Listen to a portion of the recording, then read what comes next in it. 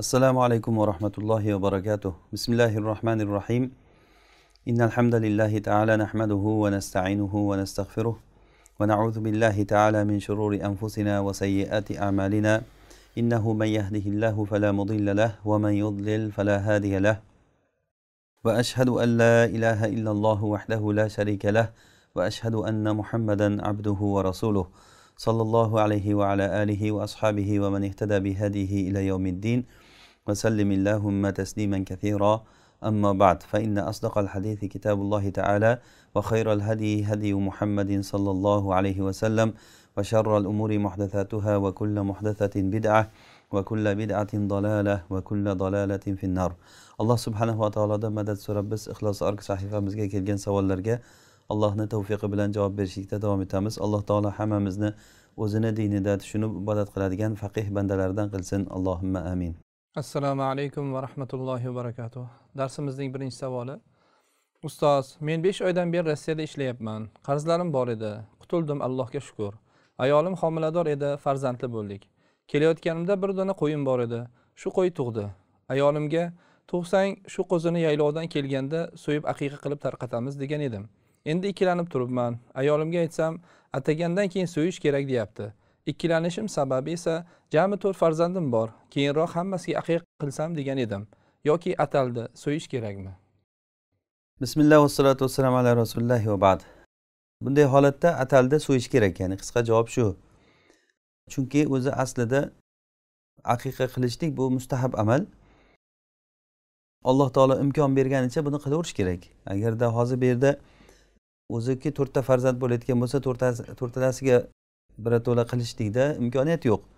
Hozir bittasiga imkoniyat bo'lib turgandan keyin va yana u atalgan olloh uchun mana shu narsani so'yaman degan tomoni bo'lgandan keyin alloh taolo shu ne'matga yetkazgandan keyin buni albatta qilishlik afzal bo'ladi.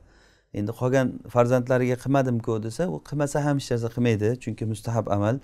Agar mabodo keyinchalik alloh taolo bir imkoniyat berib qolsa o'sha imkoniyatga qarab qilinaveradi lekin hozir bor narsa shu farzandga qilaman deb agar atab qo'yilgan bo'lsa o'sha uchun e, aytgan so'zingizga va qilgan niyatingizga xilof qilmasdan bunda nazr bo'lib bog'lanish tomoni ham bo'lib qolyapti. Ham aqiqa qilaman deb va'da berishlik bo'lyapti. Alloh taolo shu ne'matga yetkazgandan keyin albatta so'yishlik kerak bo'ladi. Vallohu alam. Navbatdagi savol. Men soqolimni o'stirishni niyat qilgan edim. Soqolim siyrakligi tufayli ikki yoni tarvaqaylab unchalik chiroyli ko'rinmayapti. Shuning uchun soqolimni tartibiga solish maqsadida qisqartirishim joizmi? Bismillah vassalatu vassalam ala rasululloh va bad. Bu narsa o'zi aslida soqol qo'yishda maqsad chiroyli bo'lish uchun qo'yilmaydi. Sunnatga ergashib rasululloh sollallohu alayhi vasallamni aytgan so'zlariga ergashib qilinadi. Rasululloh sollallohu alayhi vasallam aytganlar afu liha soqollaringni qo'yinglar. Vaffiru liha yoki soqolni vaffiru degani afu degani qo'yinglar. Arxur riha deb ham liha deb ham keladi. Soqolni qo'yinglar hammasini ma'nosida yig'ishtirganda bitta ma'no chiqadi. Soqolni qo'yib yuboringlar degan ma'no chiqadi.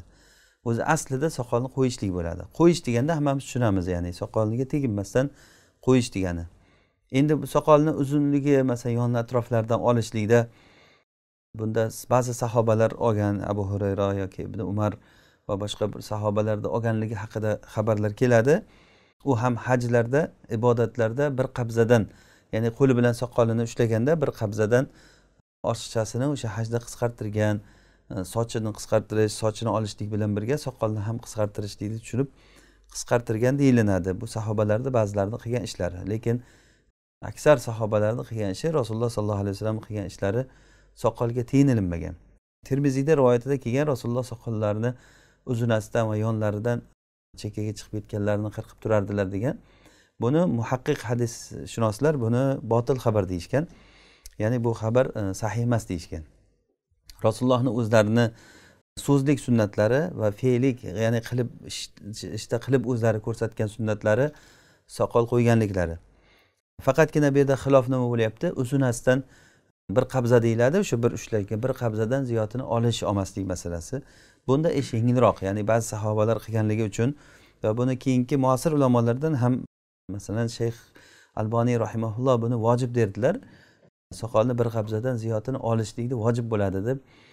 Bunda ba'zi shayxlar bilan ko'p o'rtalarida munozaralar bo'lganligini ko'rganmiz. Ixtilofli masala bo'lib qoladi. Shu ya'ni bir qabzadan ortiqchasini olishlik. Lekin bundagi o'zi aksar aimmalarni deyarli hamma aimmalarni aytgan narsasi soqolga tiyin ilinmaydi qo'yiladi deb aytishgan.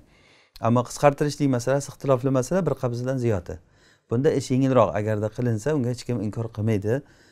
Chunki bunda sahobalardan ba'zilaridan shunaqa ishlar kelganligi uchun.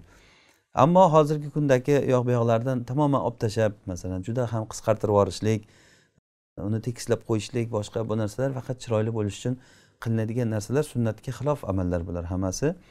Soqol qo'ydi degani o'zi ma'lum soqol qo'yish kerak bo'ladi. Soqoli siyrak bo'lsa ham sunnatga muvofiq bo'ldi deb e, niyat qilgandan keyin qo'yishlik kerak bo'ladi. Allohu alam. Navbatdagi savol. Biz xaridorlarga tovar tarqatamiz. Bir haftada tovar pulini bergan mijozlarga yetti sakkiz foiz chegirma qilib beramiz. Tovarning puli bir haftadan kechiksa o'z narxida chegirmasiz deb sotamiz. Ba'zi xaridorlar pulini bir haftada beraman deb tovarni yetti sakkiz foiz chegirma bilan oladi. Ammo bir haftada pulini bera olmaydi. Shu holatda undan tovar pulini to'liq chegirmasiz olishimiz joizmi? Bismillah vassalotu vassalam ala rasulilloh va bad. Bu narsa joiz emas noto'g'ri bo'ladi. Ya'ni qisqa javob shu. Endi tafsiliyroq qilib aytsak bir narsani sotishlikda ikkita narxi bo'lsa misol aytyaptiki hozir e, narx bersang shuncha senga e, o'tib beramiz. Agarda sen e, nasiya qilsang mana buncha uni narxi qimmat bo'ladi. Bu narsa joiz faqatgina o'sha majlisda shu holi hozir bay qilish paytida bitta variantni tanlash kerak oluvchi. Bo'pti mayli men shunga bir haftada beraman menga mana shuncha arzonlatib beringlar. Bo'ldi kelishgandan keyin al muslimuna ala shurutihim shartlashdi bo'ldi. Bu odam tovarni olib ketdimi? Shu kelishilgan majlisda turishda nimaga to'xtalgan bo'lsa o'sha narsani berish kerak. Undan ziyodini bo'ldi bir hafta o'tdi sen berolmading endi senga o'sha chegirmasiz holatidagi variantni senga qo'llaymiz desa bu aynan o'sha riboga kirib qoladi. Vaqtida berolmasa pulni ko'paytirish. Vaqtida berolmagandan keyin pulni ko'paytirish bo'lib qoladi. Endi bu odam unda unda bo'lmasa savol bo'lishi mumkin. Bo'pti mana variantini tanlayman dedida nariyoqqa chiqqandan keyin bilganini qilib ketaversa bo'lar ekanda bunga yo'l ochilmay bilsa ochilsa ochilsin. E, undan tashqari ham masalan qilaman aldayman degan odam aldaveradi. Bering bo'ldi deydi qimmat narxga masalan narxlatadida yana bermaydi uni farqi bor hech narsa o'zgarmaydi. Bermaydigan odam baribir bermaydi. Bir yildan keyin desa ham bermaydi o'n yildan keyin bo'lsa ham bermaydi.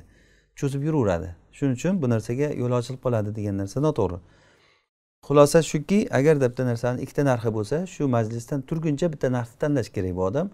Bo'ldi men mana shu variantni bir haftalik variantni tanladim dedimi? Shu bilan savdo shunga sobit bo'ladi. Endi ikkovsi tarqalib ketgandan keyin bir haftada berolmasa bu odam endi sen buni ziyoda qilib berasan bir haftada degandek berolmading endi ikkinchi variantni qo'llaymiz senga deyishligi harom bo'ladi ribo bo'ladi bu narsa noto'g'ri bo'ladi. U odamdan faqatgina o'zini haqqini talab qilishlikka haqqi bor. Allohu alam.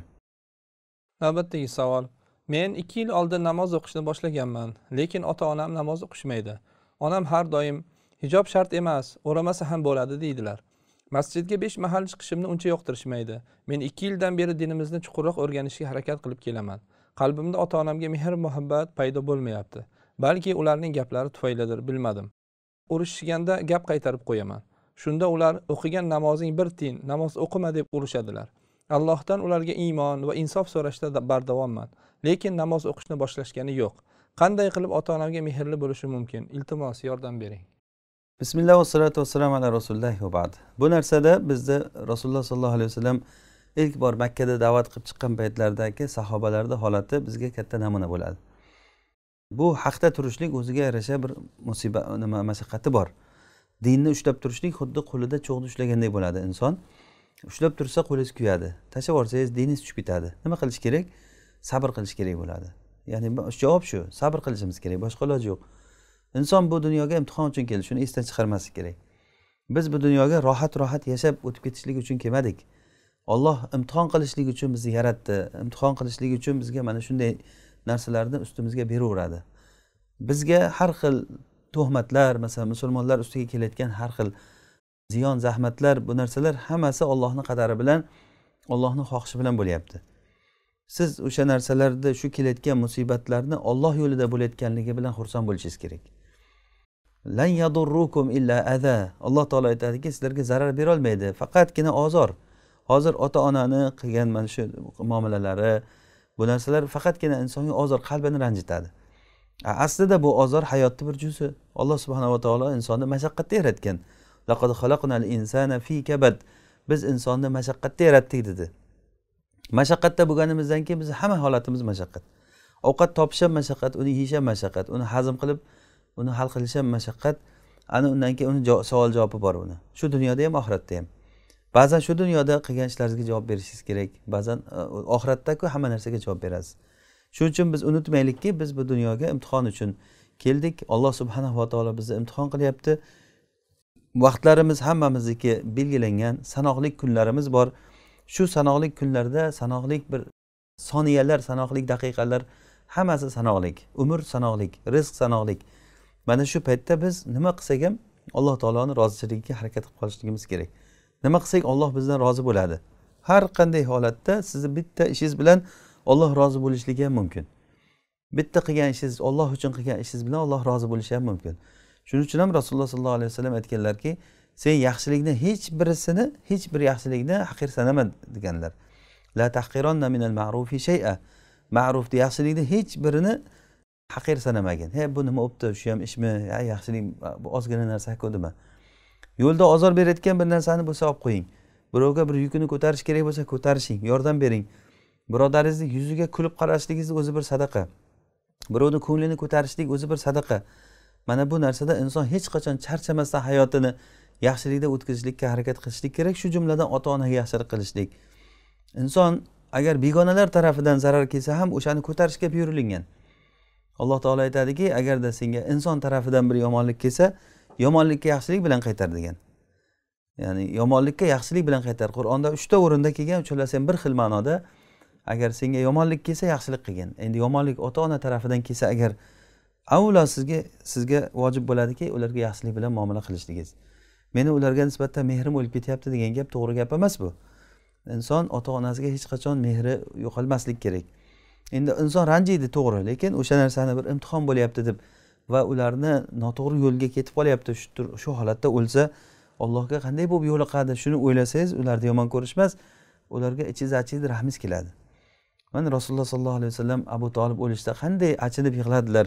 Abu tolibga ichi achigan shunchalik rasulullohga yordam bergan odam kufrda o'layotganligiga shunchalik ichi achib yig'laganlar. Shuning uchun biz bu narsalarni shunday qabul qilsak agar bu imtihon bo'lyapti bizga alloh taolo shuncha ne'matni berdi. Bu ne'matni boshqalarga ham ulashishlikni biz xohlaymiz. Ularda eng avlosi ota onamiz ular shunga tushunmayapti agar tushunganda bunday demagan bo'lar edi kerak bo'lsa agar tushunganda siz jamoatga borishdan man qilish emas tur bolam jamoatga bor namoz o'qidingmi deb sizni haydab chiqarib bor namozingni o'qib kel deydigan holatga ham kelib qoladi. Bu ollohni qo'lidagi narsa. Olloh tavfiq bersa xuddi shunday bo'lib qoladi insonga. Shuning uchun bu narsani biz e, ollohdan deb bilsak imtihon bo'layotganligini bilsak o'z o'zidan qalbimiz yumshaydi va o'zimiz amal qilib boshqa odam qilmayotganligini ko'rsak unga nisbatan haqoratomuz qarash bilan qaramaydigan bo'lamiz. Allohu alam. Alloh rozi bo'lsin ustoz. Navbatdagi savol. Ustoz kiyim najosatligini bila turib namoz o'qisa joizmi? O'sha kiyimdan boshqasi topilmasachi? Bismillah vassalotu vassalamu ala rasulilloh va bad. Agarda boshqa kiyim bo'lmasdan turib o'qisa unda joiz bo'ladi. Agar kiyim boshqa kiyim bo'lib turib najosat kiyim bilan namoz o'qisa namozi agar bilib o'qisa namozi qabul bo'lmaydi. Bilmasdan o'qisa bunda ixtilof bor. Rojih qovulda bu bilmasdan o'qisa namoz qabul bo'ladi. Buni dalili buxoriy rahimaulloh rivoyat qilgan hadisda rasululloh sollallohu alayhi vasallam bir kuni safarda namoz o'qigan paytlarida namoz namozda turib oyoq kiyimini yechdilar shunda sahobalar oyoq kiyimni yechish kerak ekan deb hammalari tapir tupur namozda yechib qoldilar. Namoz tugagandan keyin rasululloh nima hammalaring oyoq kiyim yechdilaring desalar aytdilarki siz eshitdingiz eshitdik dedilar. Shunda rasululloh aytdilarki meni oyoq kiyimim tagida najosati bor ekan jibril xabar berdi shuning uchun yechib qo'ydim dedilar. Demak namozni qanchasidir o'qigandan keyin yechib qo'yyaptilar davom etib ketyaptilar. Agar namoz qabul bo'lmaganda edi rasululloh shu namozni boshdan boshlash kerak edi. Mana bu narsa ochiq dalil bo'ladi buxoriyni hadisida. Bu narsa ochiq dalil bo'ladiki agar najosatni bilmasdan turib namoz o'qigan bo'lsa o'qib bitgan bo'lsa yoki bo'lmasa hali o'qib bitmagan bo'lsa yarmida bo'lsa ham esiga tushgan zahoti o'sha najosatni yechib tashlash kerak. Oyoqda bo'lsa oyoq kiyimini kiyim bo'lsa kiyimini yechib tashlab kiyimini almashtirib namozni davom ettirish kerak. Agar o'qib bo'lgan bo'lsa bo'lgandan keyin esiga tushsa bu namozi qabul inshaalloh. Ixtilofli masala lekin rojih qovulda namozi sahiy bo'ladi. Ammo bilib turib qilsa bu namoz qabul bo'lmaydi. O'zi najosatdan kiyimni toza bo'lishligi fuqarolar ittifoqiki shart deyishgan. Ya'ni najosatdan kiyimni toza bo'lishligi. Lekin buni sharti sihami sharti kamolmi? Bunda ixtilof bor. O'sha sharti sihami sharti kamolmi? Bunda ixtilof bor. Ya'ni sharti siha degani usiz namoz qabul bo'lmaydi degani. Sharti kamol deyotgan bo'lsak namoz qabul bo'laveradi lekin namoz qabul bo'lgani bilan gunohkor bo'ladi bu odam. Ya'ni qilish kerak bo'lgan narsani qilmasdan namoz o'qigan bo'ladi. Bundagi rojih qovul bu sharti siha namoz ya'ni namoz paytida e, kiyimni tohir bo'lishligi. Va fatahir alloh taolo oyatda aytganki kiyimingni poklagin degan. Xulosa shu. Kiyim agarda bilib turib namoz o'qisa namozi qabul bo'lmaydi. Agar bilmasdan o'qib ham o'qib bo'lgan bo'lsa o'qib bo'lgani inshaalloh namoz sahiy bo'ladi. Ammo boshqa kiyim bo'lmasdan najosatligini bilib o'qisa unda satra o'rat qilib e, o'qishligi afzal bo'ladi yalang'och namoz o'qigandan ko'ra. O'sha kiyim bilan namoz o'qimasa avrati ochilib qoladigan bo'layotgan bo'lsa boshqa kiyimi bo'lmayotgan bo'lsa yalang'och o'qigandan ko'ra satra avrat qilib najosat kiyim bilan o'qishligi avlo bo'ladi. Vallohu alam. Navbatdagi savol. namoz rakatida shubha qilsa va kamroq o'qidim deb o'ylab namozni to'liq o'qisa sajda sahv qiladimi bismillah vassalotu vassalamu ala rasulilloh va bad buni bunday holatda aynan shunday holatni rasululloh sollallohu alayhi vasallam bayon qilganlar إذا صلى أحدكم وشك في صلاته أصلى ثلاثا أو أربعا agar sizlarni bittalaring namoz o'qisada namozda shakka tushib qolsa uch rakat o'qidimmi to'rt rakat o'qidimmi qaysiligini bilmasa nima qilsin deganda aytdilarki shakka ala shakni tashlasinda anig'ini olsin. Hozir uch rakatmi to'rt rakatmi bilib bo'lmayapti. Uch rakatmi to'rt rakatmi bilib bo'lmasa anig'i qancha? Uch rakat aniq. To'rt rakat noaniq ya'ni to'rt rakat bo'lganligi shak uch rakatligi aniq. Shuning uchun to'rt rakatni tashlab yuboradida uch rakat bo'ldi deb oladi va yana bir rakat qo'shib o'qiydi. Agarda besh rakat o'qib qo'ysa bu odam agar to'rt rakat o'qigan bo'lishi ham mumkinku oldin uch rakat deb olyapti bu odam. Agar namozi besh rakat bo'lib qo'ygan bo'lsa keyin falyastuj sajdatayni ikkita sajda sav qilsin dedilar namozni oxirida. Sajda sav qiladimi mana javob shu. Sajda sav qiladi bu odam. Uch rakat deb oladida to'rtinchi rakatni yana bir rakat qo'shadida sajda sav qiladi. Agar shu to'rtinchi rakat deb qo'shgani bunga beshinchi rakat bo'lib ketgan bo'lsa rasululloh aynan shuni aytdilarki agarda yashfana lahu. Agarda yashfana lahu solatahu. Namozini u ikki rakat e, ikkita sajdasi o'qigani namozini toq qilib beradi. Agar to'rtta o'qigan bo'lsa o'zi rostdan ham uchta o'qib keyingi qo'shgani to'rtinchisi bo'lib to'g'ri qilgan bo'lsa haligi qilgan sajda sahu bu kana targ'iman li shayton. Shaytonni burnini yerga ishqash bo'ladi dedilar. E, muhimi qisqa javob shu. Agarda uch rakat bo'ldimi to'rt rakat bo'ldimi bilmay qolsak uch rakat bo'ldi degan anig'ini olamizda shakni to'rtinchi rakat shak bo'lib qoldimi uni tashlaymizda uch rakatni olib yana bir rakat qo'shamizda to'rt rakat qilib o'qib sajda sav qilamiz. Vallohu alam. Navbatdagi savol. Muoz ibn jabal roziyallohu anhudan rivoyat qilinadi. Men nabiy sollallohu alayhi vasallam bilan birga eshakka mingashib ketayotgan edim. U zot ey muoz allohning o'z bandalaridagi haqqi nimayu? Bandalarning allohdagi haqlari nima bilasanmi? dedilar. Men alloh va rasuli biladi dedi u zot albatta allohning bandalaridagi haqqi u zotga ibodat qilishlari va u zotga biror narsani sherik qilmasliklaridir. Bandalarning allohdagi haqlari esa u zotga shirk keltirmaganni azoblamaslikdir dedilar. Shunda men ey allohning rasuli bu bilan odamlarga xushxabar beraymi? dedim. U zot ularga xushxabar berma yana suyanib qolishmasin dedilar. Muttafaqun alayh. Ushbu hadisdagi payg'ambarimiz sollallohu alayhi vasallamning yana suyanib qolishmasin degan so'zlarni izohlab bersangiz. Bismillah vassalotu vassalam ala rasulillohi va bad. Bu hadisda suyanib qolmasinlar deganlar deganlari amalni tashlab qo'ymasin ya'ni shirk keltirmasak bo'ldi ekan ro'za tutmasak ham bo'laverar ekan boshqa amallarni bajarmasak ham bo'laverar ekan yoki harom narsalarni qilsak ham bo'laverar ekan muhimi shirk keltirmasak bo'ldi ekan deb suyanib amalni tashlab qo'ymasin degani.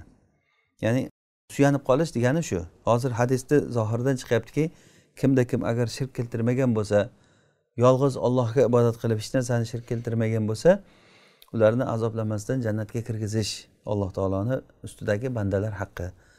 Degandaki o'sha nimani? Odamlar tushunib qolishi mumkinki ha bu yerda amal shart emas ekan.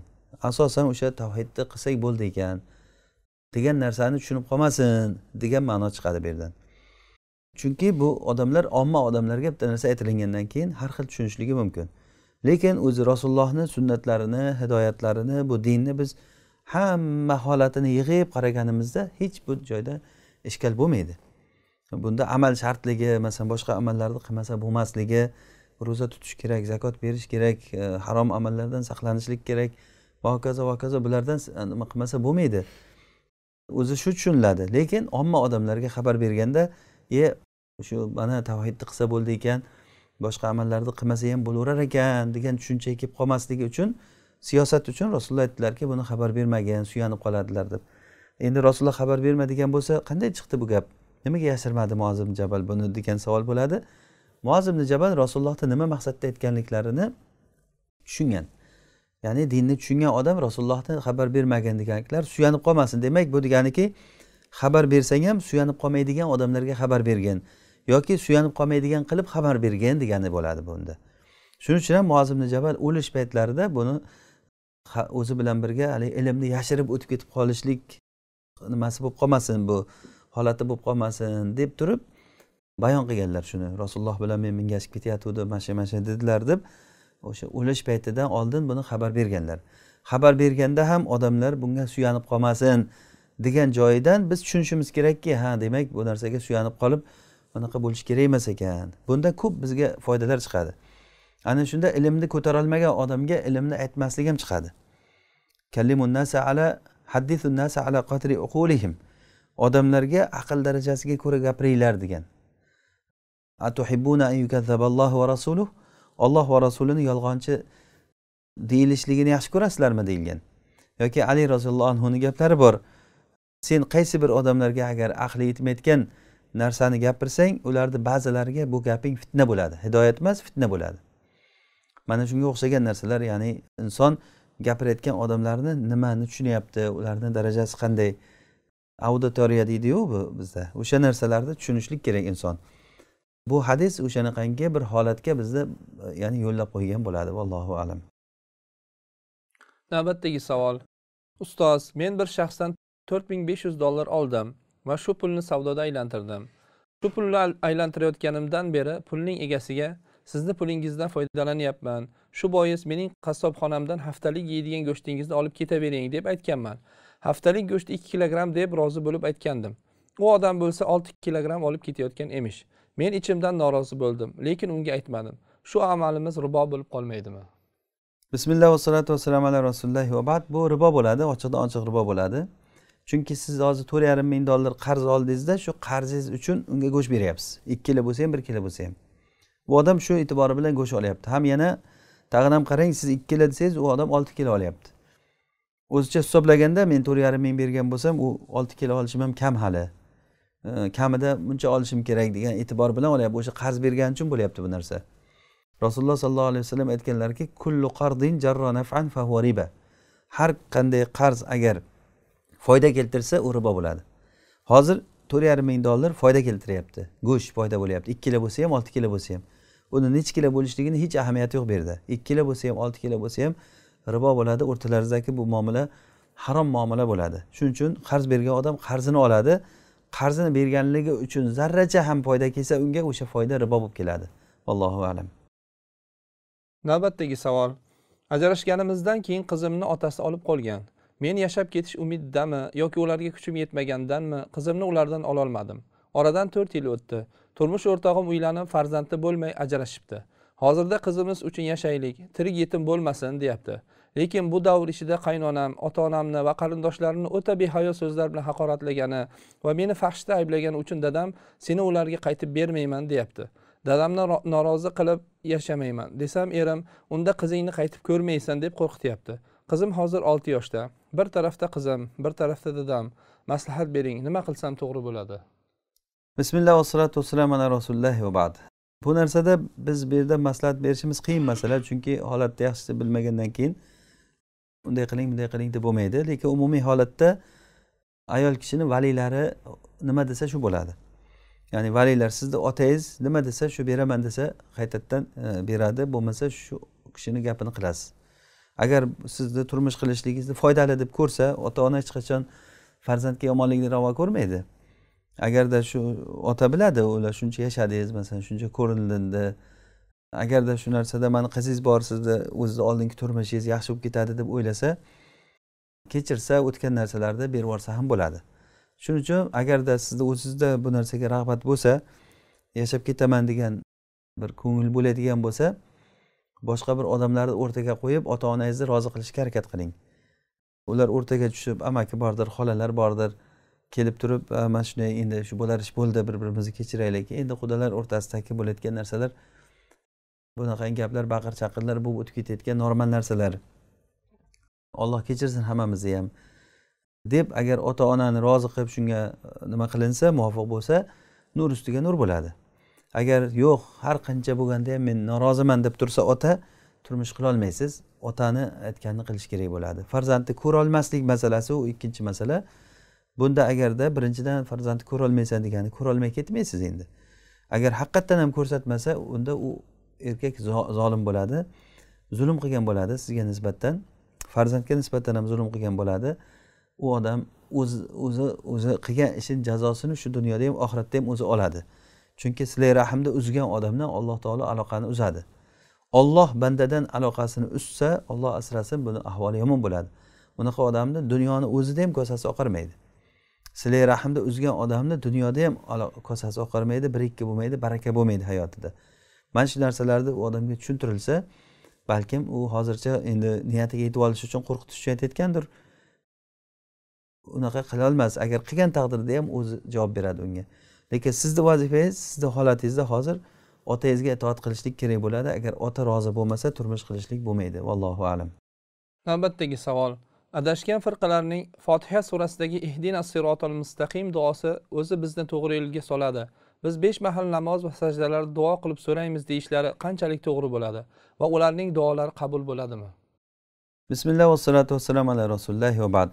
Albatta bu narsa o'z o'zidan ko'rsatadiki faqat duo qilaverish bilan ish bitmas ekan rasulullohga ergashmasa bo'lmas ekan. Duo qilgan bilan osmondan masalan ey robbim menga rizq ber deb duo qilaversada dehqonchilik qilmasa yoki bir urug'ni sochmasa sabablarni ushlamasa osmondan dinor dirham yog'mas ekan. O'shanday narsa bu ham. Biz bu haqda mana alloh taoloni hidoyat sunnatlari haqida ilohiy sunnat darslarimizda batafsil gapirgan edik. Alloh taolo bu dunyoda ham oxiratda ham hamma narsani sabablik qilib yaratdi. Hidoyat shu jumladan hidoyatni ham sabablari bor. Hidoyat sabab bilan bo'ladi. Alloh taolo kimni hidoyatlaydi o'zi biladi. Bu hidoyat xuddi dinor dirhamga o'xshab osmonga sochilib kimni boshiga tushsa uni boshiga baxt qo'ndi baxt qushi qo'ndi deydigan narsa emas bu. Mana qarang alloh taolo abu tolibni qanday holatda o'lishini nasib qildi. Uni o'g'li ali mubashshar bil janna bo'ldi ali ibn abi tolib yoki abu jahl qanday holatda o'ldi? Mana abu jahl hammamiz bilamiz. Badr maydonida badr g'azotida olloh bilan urushib o'ldi. Ollohni diniga qarshi kurashib urushib o'ldi. Uni o'g'li ikrima ollohni dinini oliy qilishlikda jihod maydonida shahid bo'ldi. Yoki masalan bilol habashiy qanday bo'ldi? Uni sayyidi umayyat ibn xolaf qanday bo'ldi? Va hokazo. Bunday solishtirib qaraganda nima uchun unday bo'ldi degan savol bo'ladi. Alloh taolo bu narsalarda bir hikmat bilan qildimi? Yoki hammasi tasodifan bo'ldimi? Albatta nima deymiz? Javob hikmat bilan bo'ldi deymiz. Olloh alimun hakim bo'lgan zot. Ollohni hidoyati eng katta ne'mat. Xuddiki boylik ne'matga bo'lganiga o'xshagan hidoyat katta ne'mat bu. Boylikni alloh taolo o'zi bilib beradimi? Kimga bersa ham. Hammamiz buni tan olamiz. Xuddi shunday hikmatda alloh taolo bu nimani hidoyatni bilib beradi. Allohu alamu haysu yajalu risalata alloh taolo risolasini o'zini risolatini qayerga qo'yishlikni yaxshi biladi. Kimni qalbi qanday kim buni qabul qiladi olloh biladi buni. Shuning uchun bu narsada o'zi hidoyat sabablarini ushlashligimiz kerak ekan. Buni ismini bitta qilib aytganda ihtido deyiladi ehtido ya'ni vahu alamu bil muhtadin. Alloh taolo muhtadinlarni biladi. Muhtadin degani nima degani? Ihtido hidoyat sabablarini ushlash. Hidoyat sabablarini ushlab hidoyat sari harakat qiluvchi odamlarni olloh biladi. Olloh biladida o'sha bilimi bilishi bilan hikmati bilan alloh taolo bandalarga beradi. Shuning uchun ham adashgan toifalarni hammasi bizni hidoyatlasin olloh degan bilan olma pish og'zimga tush bilan ish bitmaydi. Sabablarni to'g'ri ushlash kerak. Hidoyat sabablari masalan boylik sabablarini hammamiz tushunamiz. Misol qilib aytsak boylik kim boyiydi? Sabablarni qilgan odam boyiydi. U o'tiraversa masalan olma pish og'zimga tushdi bo'lib qolmaydi hech narsa. Bunda dars beradi hamma bir biriga ha u deydi bu yerda o'tiraverganing bilan deydi. Tekinga mushuk oftobga chiqmaydi deydi. Hamma tan olgan maqollar bular. To'g'ri gap haqiqatdan ham o'z o'zidan bo'lmaydi hech narsa. Endi hidoyat o'z o'zidan bo'lishi kerakmi? Hidoyat olloh o'zing hidoyatla deb qo'ygan bilan bo'lmaydi. Xuddi ollohim o'zing mol dunyo ber boy qilib qo'y meni deb yotaversa olloh boy qilib qo'ymaydiku uni. Sabablarni ushlash kerak biz sabablarni ushlashga buyurilganmiz. Xuddiki masalan kun sovib ketsa issiq kiyim kiyamiz sabab. Ana shunday hidoyatni sabablari bor. Hidoyat sabablarini birinchisi ollohdan so'rash buni qilyapti mana. Ikkinchisi uni hidoyatni joylaridan istash. Aynan hidoyat olinadigan joylardan istash. Bu rabboniy olimlar birinchi avvalambor payg'ambarlar. Payg'ambarlar ketgandan keyin endi hozir payg'ambarlarni merosxo'rlari bo'lgan rabboniy olimlarni oldidan hidoyat istash o'shalarga ergashishlik o'shalarga toat qilishlik mana bu bilan bo'ladi. Asosan o'sha adashgan odamlar o'zlariga hidoyat eshigini yopib qo'yishgan. Ana endi alloh taolodan hidoyat so'raversa eshikni yopib qo'ysada ey robbim meni mana shu yerga kirgizgin.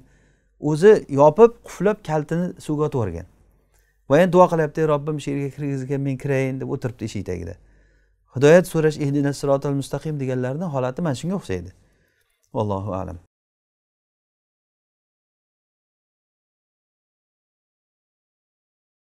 Bu kullu qardin jarra nafan fahuva riba bu hadis bu. Ham qoida bo'lib qolgan bu. Xuddi la darar va la dirorga o'xshagan bu ham hadis ham qoida. Ya'ni o'zi lafzi ham hadis la darar va la diror lafzi zarar berish ham yo'q zararga zarar bilan muomala qilish ham yo'q degandek har qanday qarz foyda olib kelsa u ribo bo'ladi bu hadis bu. Va bu hadis qoida bo'lib qolgan. Vallohu alam. Navbatdagi savol. Odatda namoz vaqtlari quyoshga qarab belgilanadi. Men hozir rossiyadaman bu yerda quyosh uncha ko'p chiqmaydi. Muslim pro degan programma bor.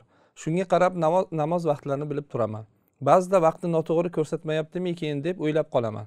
Namoz vaqtlarini qanday qilib aniq bilsam bo'ladi.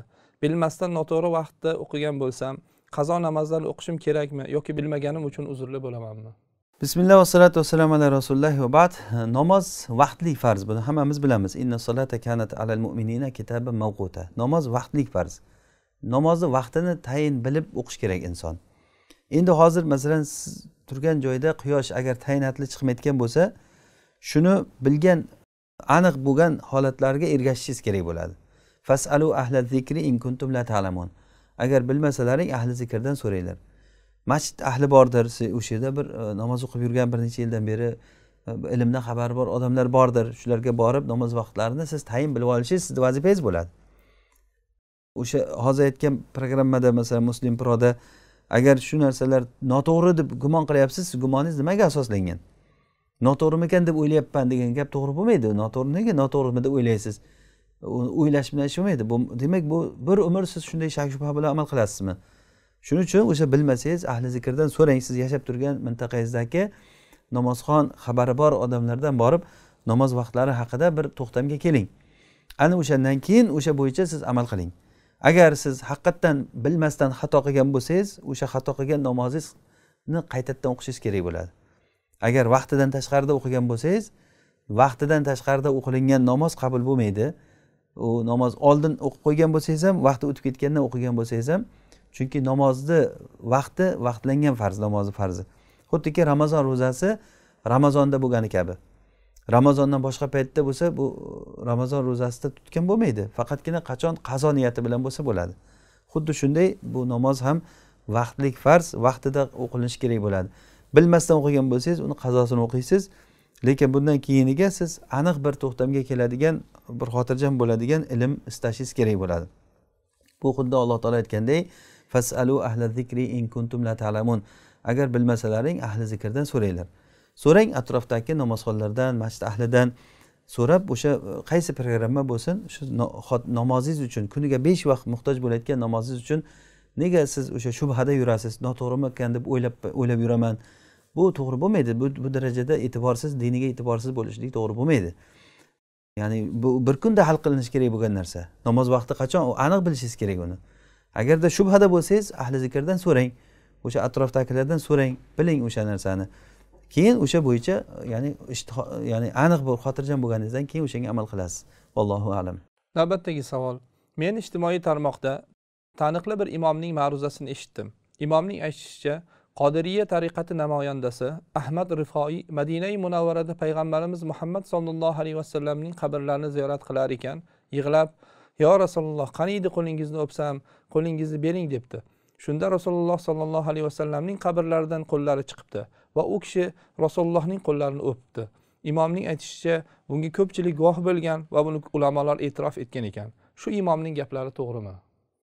Bismillah vassalotu vassalam ala rasulilloh vabat bu rivoyatni o'zi to'qima rivoyat. Bu e, tasavvuf ahlini g'ulu ketganlari tomonidan naql qilinib keladigan davom etib kelinadigan rivoyatlardan biri. Ahmad rifoiyni tarixini aytgan masalan ibn kasir bo'lsin bidoya va nihoyada yoki siyar alam nubalada zahabiy aytgan va boshqa e, muhaqqiq tarixchilar bu kishi haqida gapirganda birortasi bu kishini bunday holatini zikr qilishmagan. Aslida bu holat katta holat ya'ni rasululloh qo'l chiqarib qabrdan qo'lni o'pishligi bu juda katta holat bu mashhur holat bo'lishi kerakda bu. Ya'ni u kishini tarixini gapirgan odamlar birinchilardan bo'lib gapirish kerak bo'lgan narsa. Ya'ni u kishini tarixini gapirgan masalan mana siyar alami nubalada zahabiy aytgan u kishini e, ahmad rifoiyni nimasini tarixini tarjimai holini kimligini aytgan u u kishini qilgan ishlari boshqa boshqasini keltirganda bu gap aytmagan. Yoki e, ibn kasir bidaya va nihoyada keltirgan buni aytmagan. Boshqa muhaqqiq tarixchilar buni aytganda hech qaysisi u kishini haqida bu gap keltirmagan. Hattoki o'sha tasavvuf ahlini o'zini tabaqotlarini aytadigan tasavvuf ahli tomonidan qilingan naqllarda ham o'ninchi asrgacha bo'lgan tasavvuf ahlini nimasida tarixlarida bu gap gapirilmagan. O'ninchi asrga bu kishi o'zi oltinchi asrda o'tgan ahmad rifoiy o'ninchi asrgacha bo'lgan nimada tasavvuf ahlida bu kishi haqida hech qanaqangi bu rivoyat yo'q. Undan keyin o'ninchi asrdan keyin to'qib chiqarilgan narsalar bular. Ular qo'lma qo'l qilib mana shu narsani aytib kelinadi. Endi buni imom kishi aytgan bo'lsa kimdandir eshitib o'sha bir kitobda o'qib aytgan bo'ladi o'shani. Mana bor ekan deb o'shanga ishonib aytgan bo'lishi mumkin. Lekin asli bu o'sha kitobdagi aytilingan naql qilingan joyi buniki o'zi to'qilgan bir hikoya bu. Bu narsa o'zi aslida hidoyat tarqatishlik bu bilan bo'lmaydi.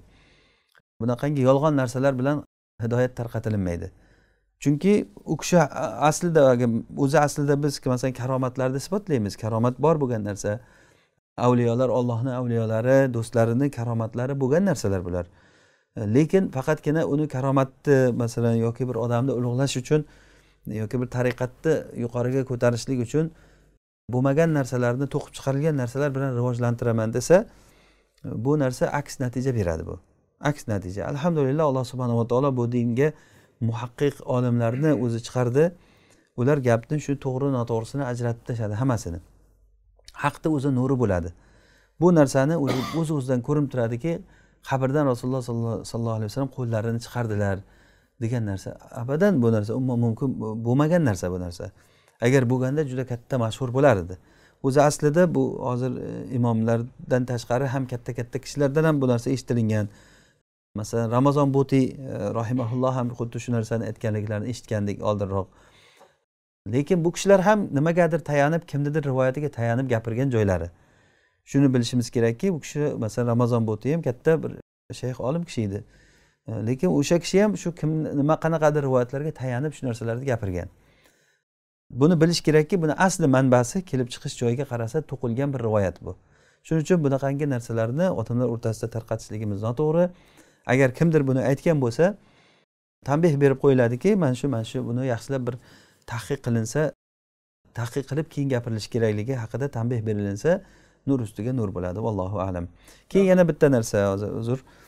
Bunaqangi narsalar bunaqangi narsalar mana shuni qabrlarga borish qabrdan borib qabr sohibiga gap gapirishlik qabr sohibi kim bunday qilibdi bunday qilibdi degan narsalar bu narsalar odamlarga shirk eshigini ochib beradi shuning uchun ham bizni tavsiyamiz shuki imom domlalarga kim bo'lsa mana shu haqda minbarda rasulullohni minbarida merosxo'ri bo'lgan kishilarga alloh taolo shunday bir ne'matni nasib qilibdimi? Bu ne'matdan yaxshi foydalanish kerak. O'ylab foydalanish kerak. Bu narsada ba'zi bir gaplar to'g'ri gaplar bo'lsa ham noto'g'ri natija berib yuboradi xalq ichida. Ya'ni to'g'ri gaplar ham noto'g'ri natija berib yuboradi. Ba'zi holatlarda mana shunday ayniqsa qabr sohasidagi odamlarni holati masalan shirk eshigini ochib berish bo'lib qolmaslik kerak. Qabrga borsang unday bo'ladi qabrga borsang bunday bo'ladi. Duo boshqa joyda qilingan duodan ko'ra qabrda qilingan duo ijobat bo'ladi bu bo'ladi bu bo'ladi deb e, bu narsalar odamlarga shirk eshigini ochib berishlik bo'ladi. Inson bir umr qilgan savob ishlari mana shu bitta eshikni ochib berish bilan yuvilib ketishi mumkin alloh asrasin. Bu narsa tanbeh hammamiz uchun. Shuning uchun ham bu e, minbarda o'tirgan kishi ehtiyot bo'lishlik kerak. Nima gapirayotgan gapini odamlarga nima deyotganligini ehtiyot bo'lib gapirish kerak. Chunki bizga bu narsani nasib qilgan zot olloh robbil alamin. Bizga rizq beruvchi olloh boshqa odam rizq bermaydi.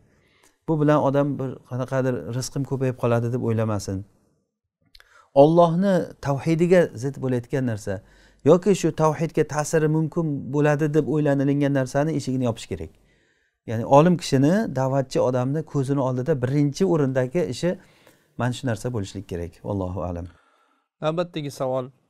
Zarra misqolcha yaxshilikni ham zarra misqolcha yomonlikni ham o'sha kunda ko'rishadi degan oyat bilan kofirlarning amallarini habada qilib yubordik degan ma'nodagi oyatni tushuntirib bersangiz yoki yaxshilik qilgan kofirlarning yaxshi amallari ularning jahannamning yuqoridagi qavatiga o'tkazilib kamroq jazo olishlariga sabab bo'ladimi?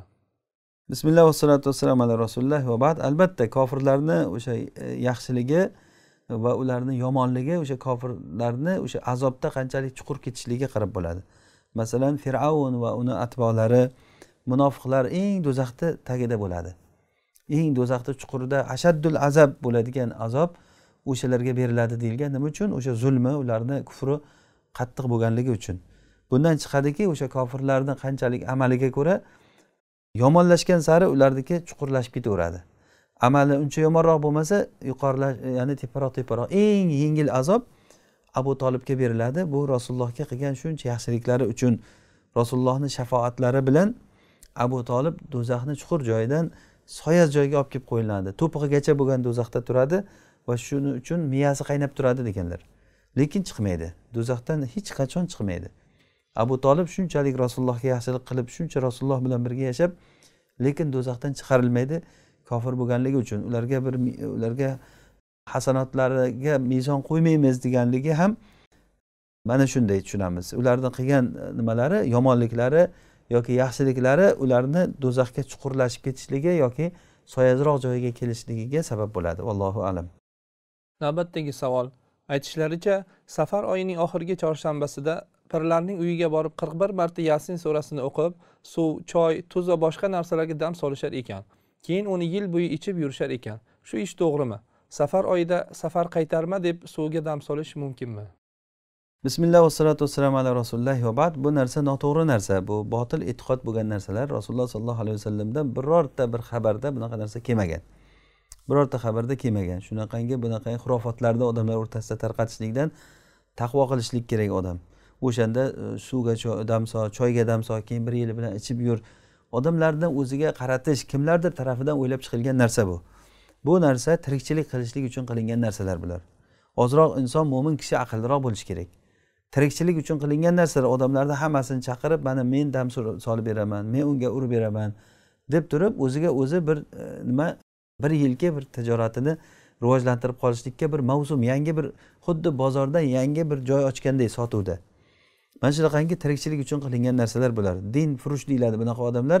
Dinni nomidan o'zlaricha o'zlari bir udumlar chiqarib uni orqasidan shu ish qilishlik. Buni eng yomon ko'rinishi yahudlarda bo'lgan hatto shu darajagacha borganki jannat yerlarini bo'lak bo'lak qilib turib sotgan.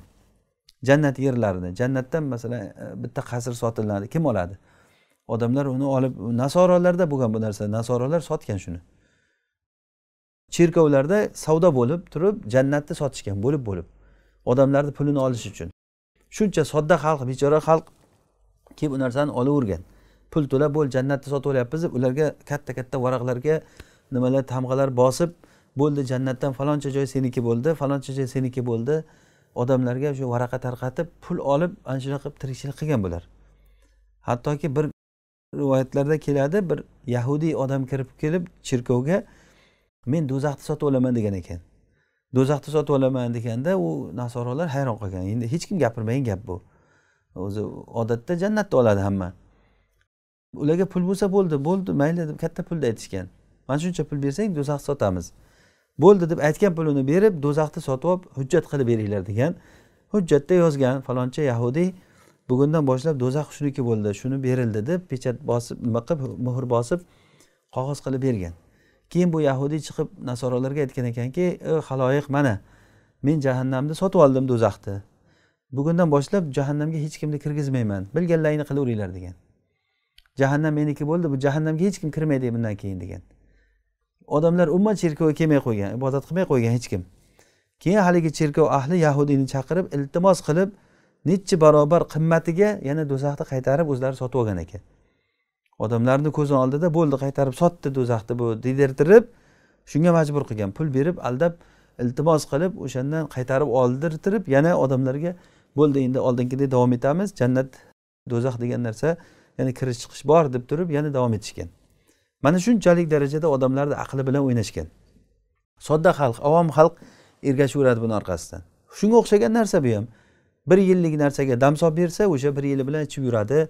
Boshqa qiladi. Bu narsalar hammasi tirikchilik uchun odamlarni cho'ntagidagi pulini botil yo'l bilan yeyish uchun qilingan o'ylab topilgan narsalar. Allohu alam. Navbatdagi savol. Bir do'stim amakisi bilan xafalashib qolishgan va gaplashishmaydi. Lekin u amakisini ehsonga chaqirdi. Amakisi kelmadi. Keyinroq aqiqaga aytgan edi amakisi o'zi ham kelmadi farzandlarini ham keltirmadi. Aytingchi do'stimdan gunoh soqit bo'ldimi? U ehsonga chaqirdi amakisi kelmadi. Bismillah vassalotu vassalam ala rasulillohi va bad bu narsa yaxshi narsa emas silay rahmni uzib qo'yishlik. Endi nima uchun bo'lgan bu narsa qanday bo'lgan uni avvalambor bilib keyin gapirish kerak bo'lgan narsa. Umuman aytganda mo'min kishi mo'mindan xafa bo'lsa uch kun xafa bo'lishlikka haqqi bor. Uch kun. Bunga ruxsat berilgan shar'an uch kun xafa bo'lib yurishligi. Uch kundan keyin albatta uni mo'minlik haqqi bor. Salom bersa salomiga javob qaytarishligi shart. Ya'ni ularni eng ollohga avlosi yaxshisi salomni birinchi bergani deganlar.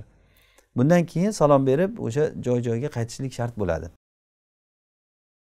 Yana bo'lib ham bu hali mo'minlik birodarchilikdan tashqari bular amaki jiyan bu silay rahm degan masala yotibdi bu yerda.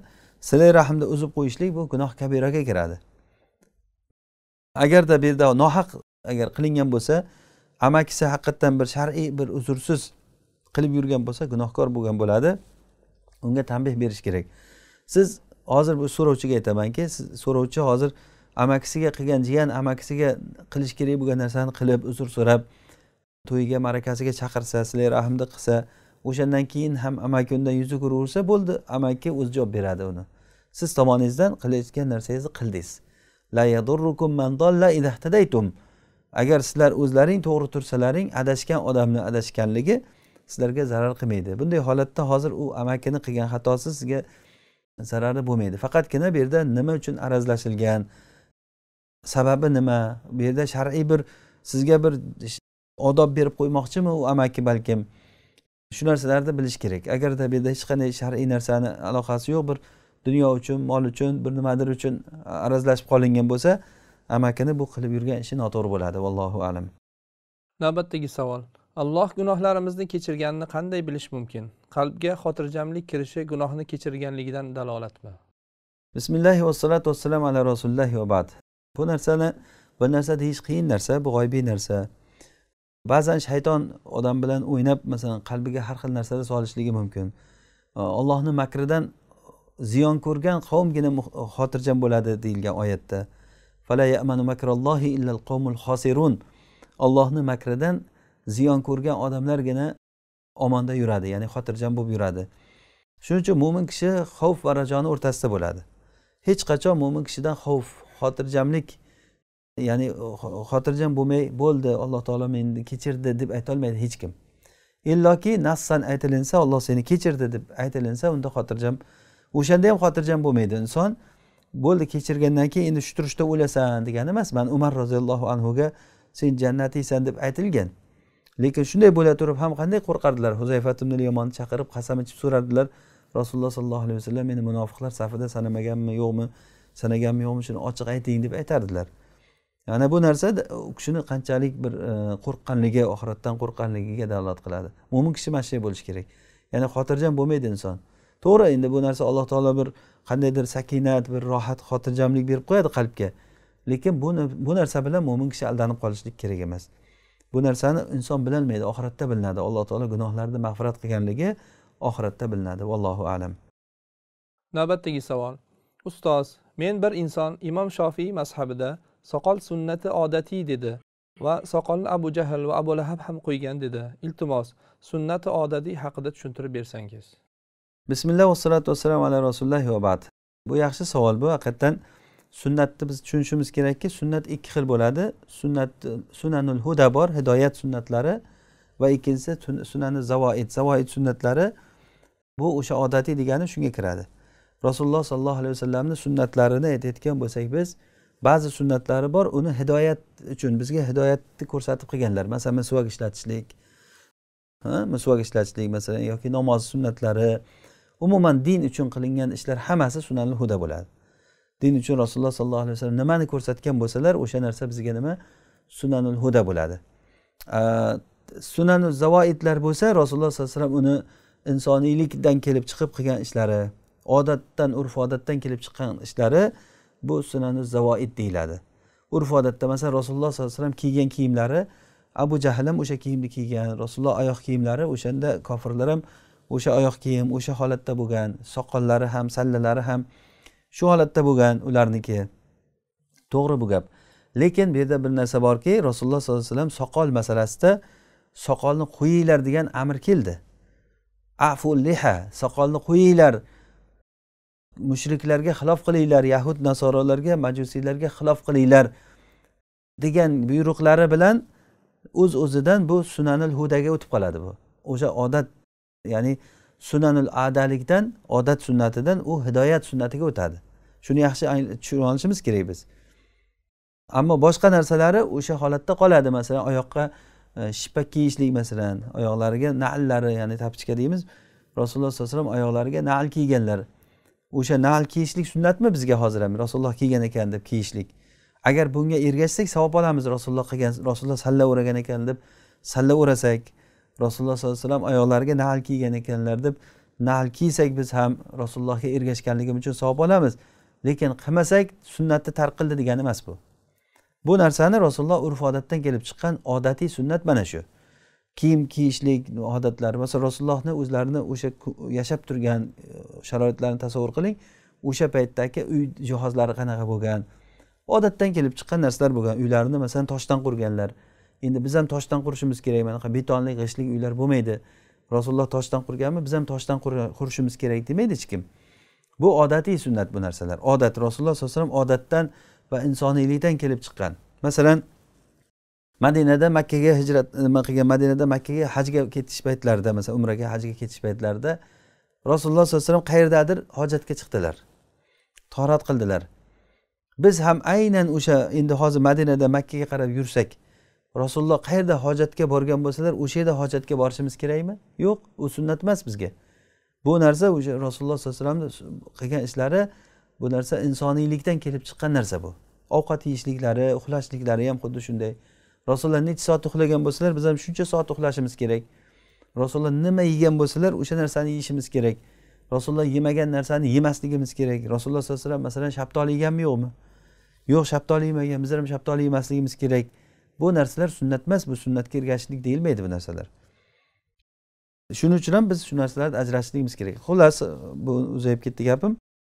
Soqol masalasida soqol o'zi rasulullohda bor soqol to'g'ri abu jahlda ham bor edi. Lekin rasululloh bu narsani buyruq bilan bu, bu safga qo'shdilar. Endi soqolni qo'yinglar degan buyruq bo'ldimi? Ana shu buyruqlaridan kelib chiqib bu hidoyat sunnatiga o'tdi. Endi kim agar qo'ymasa rasulullohni soqol qo'yinglar degan amriga xilof qilgan bo'ladi. Buni endi o'sha e, sunnat e, nimalari odat sunnatidan bu sunanul ada bu narsa deb aytilinmaydi bu narsani.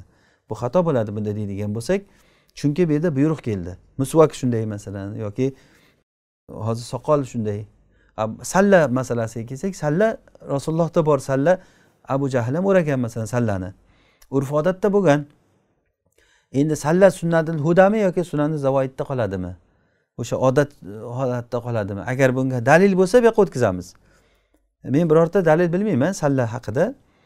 Salla haqida kelgan gaplar o'sha o'ydirma to'qima gaplar. Salla bilan o'qilingan namoz sallasiz o'qilgan namozdan yetmish barobar ziyoda bo'ladi. Agar shu sahiy bo'lganda edi sunanil hudaga o'taydi u.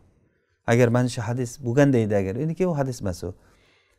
Agar shu hadis bo'lganda edi bu yoqqa o'taydi. Agar kimdir bu yoqqa o'tkazaman desa dalil bo'lsa o'tkazaversin. Dalil yo'q bo'lsa u o'sha holatida o'sha nima holatda qoladi. Endi sallavurash nima rasulullohga o'zini o'xshatishlik yaxshi narsa. O'sha odatiy sunnatni narsa sallaverashlik odatiy sunnatga rasulullohga ergashgan bo'ladi sallaveragan kishi.